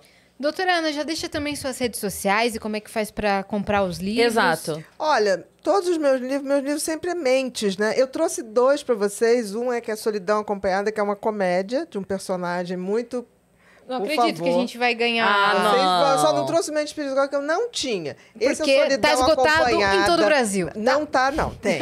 E esse, esse é uma, uma personagem muito, muito comédia. Você vai entender. Tá. É uma mulher que. Você vai ver. Uma jovem totalmente que vive num, num, num apartamentinho isolado e o mundo tá todo errado, ela é a única pessoa certa que existe. E esse aqui, o Mentes, Janelas da Mente, são contos feitos a partir de casos reais, Duas ficcionados. Sobre os transtornos, os transtornos Isso. da vida moderna. Isso. Caramba, aí tem, obrigada, doutora Tá? E todos os livros estão no Amazon, no americanas.com, estão sempre lá, assim. Perfeito. Todos Ah, eles. você viu, né? Vi. E nos dias é, 21, 22, 23, eu vou estar fazendo em BH um evento que a gente vai para o lançamento. Vão ser três lives para o lançamento do curso Mentes Perigosas, Manual de Sobrevivência. Então a gente vai fazer três 21, 22 e 23? 23, e aí a gente está lançando esse curso que eu acho assim, tem gente que lê, mas não gosta de ler, tem uma geração, então o curso é esse papo é o aqui. livro entregue de outra forma. É mais do que o livro, porque Incrível. aí tem, tem a experiência, tem os Ótimo. detalhes, tem essa coisa que a gente entrega Onde é que vai tudo ser? direitinho, em BH, né? E a gente depois lança o curso que vai estar bem bacana. Manual de sobrevivência. A gente já tá meio legal. apertado no horário, É. mas Tem só uma porque essa pergunta aqui pergunta na é legal. plataforma. Vamos lá. Juliana Silva mandou. Boa noite, doutora Ana Beatriz, Cris e Yas. Boa noite, Ju. Boa noite. Gostaria de saber se existiria o inverso da psicopatia. Alguém que tem empatia demais, Tem. a ponto de não conseguir estabelecer vínculos emocionais, ter problemas nos relacionamentos com as demais pessoas. Parabéns pela conversa. Tem. Legal essa pergunta. São chamados empatas.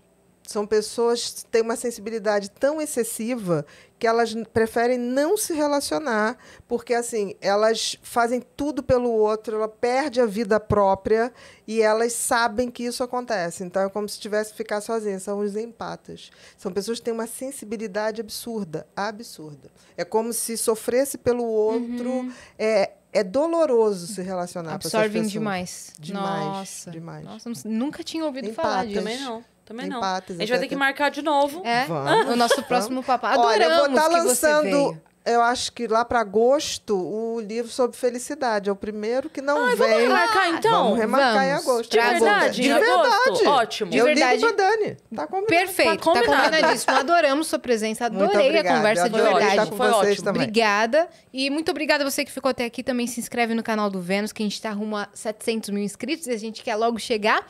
Muito obrigada. E arroba o Vênus Podcast em todas as redes sociais. E também temos nossas redes sensuais pessoais. Exato. arroba Cris Paiva com dois S, arroba Yas e Assine. Um beijo. Beijo.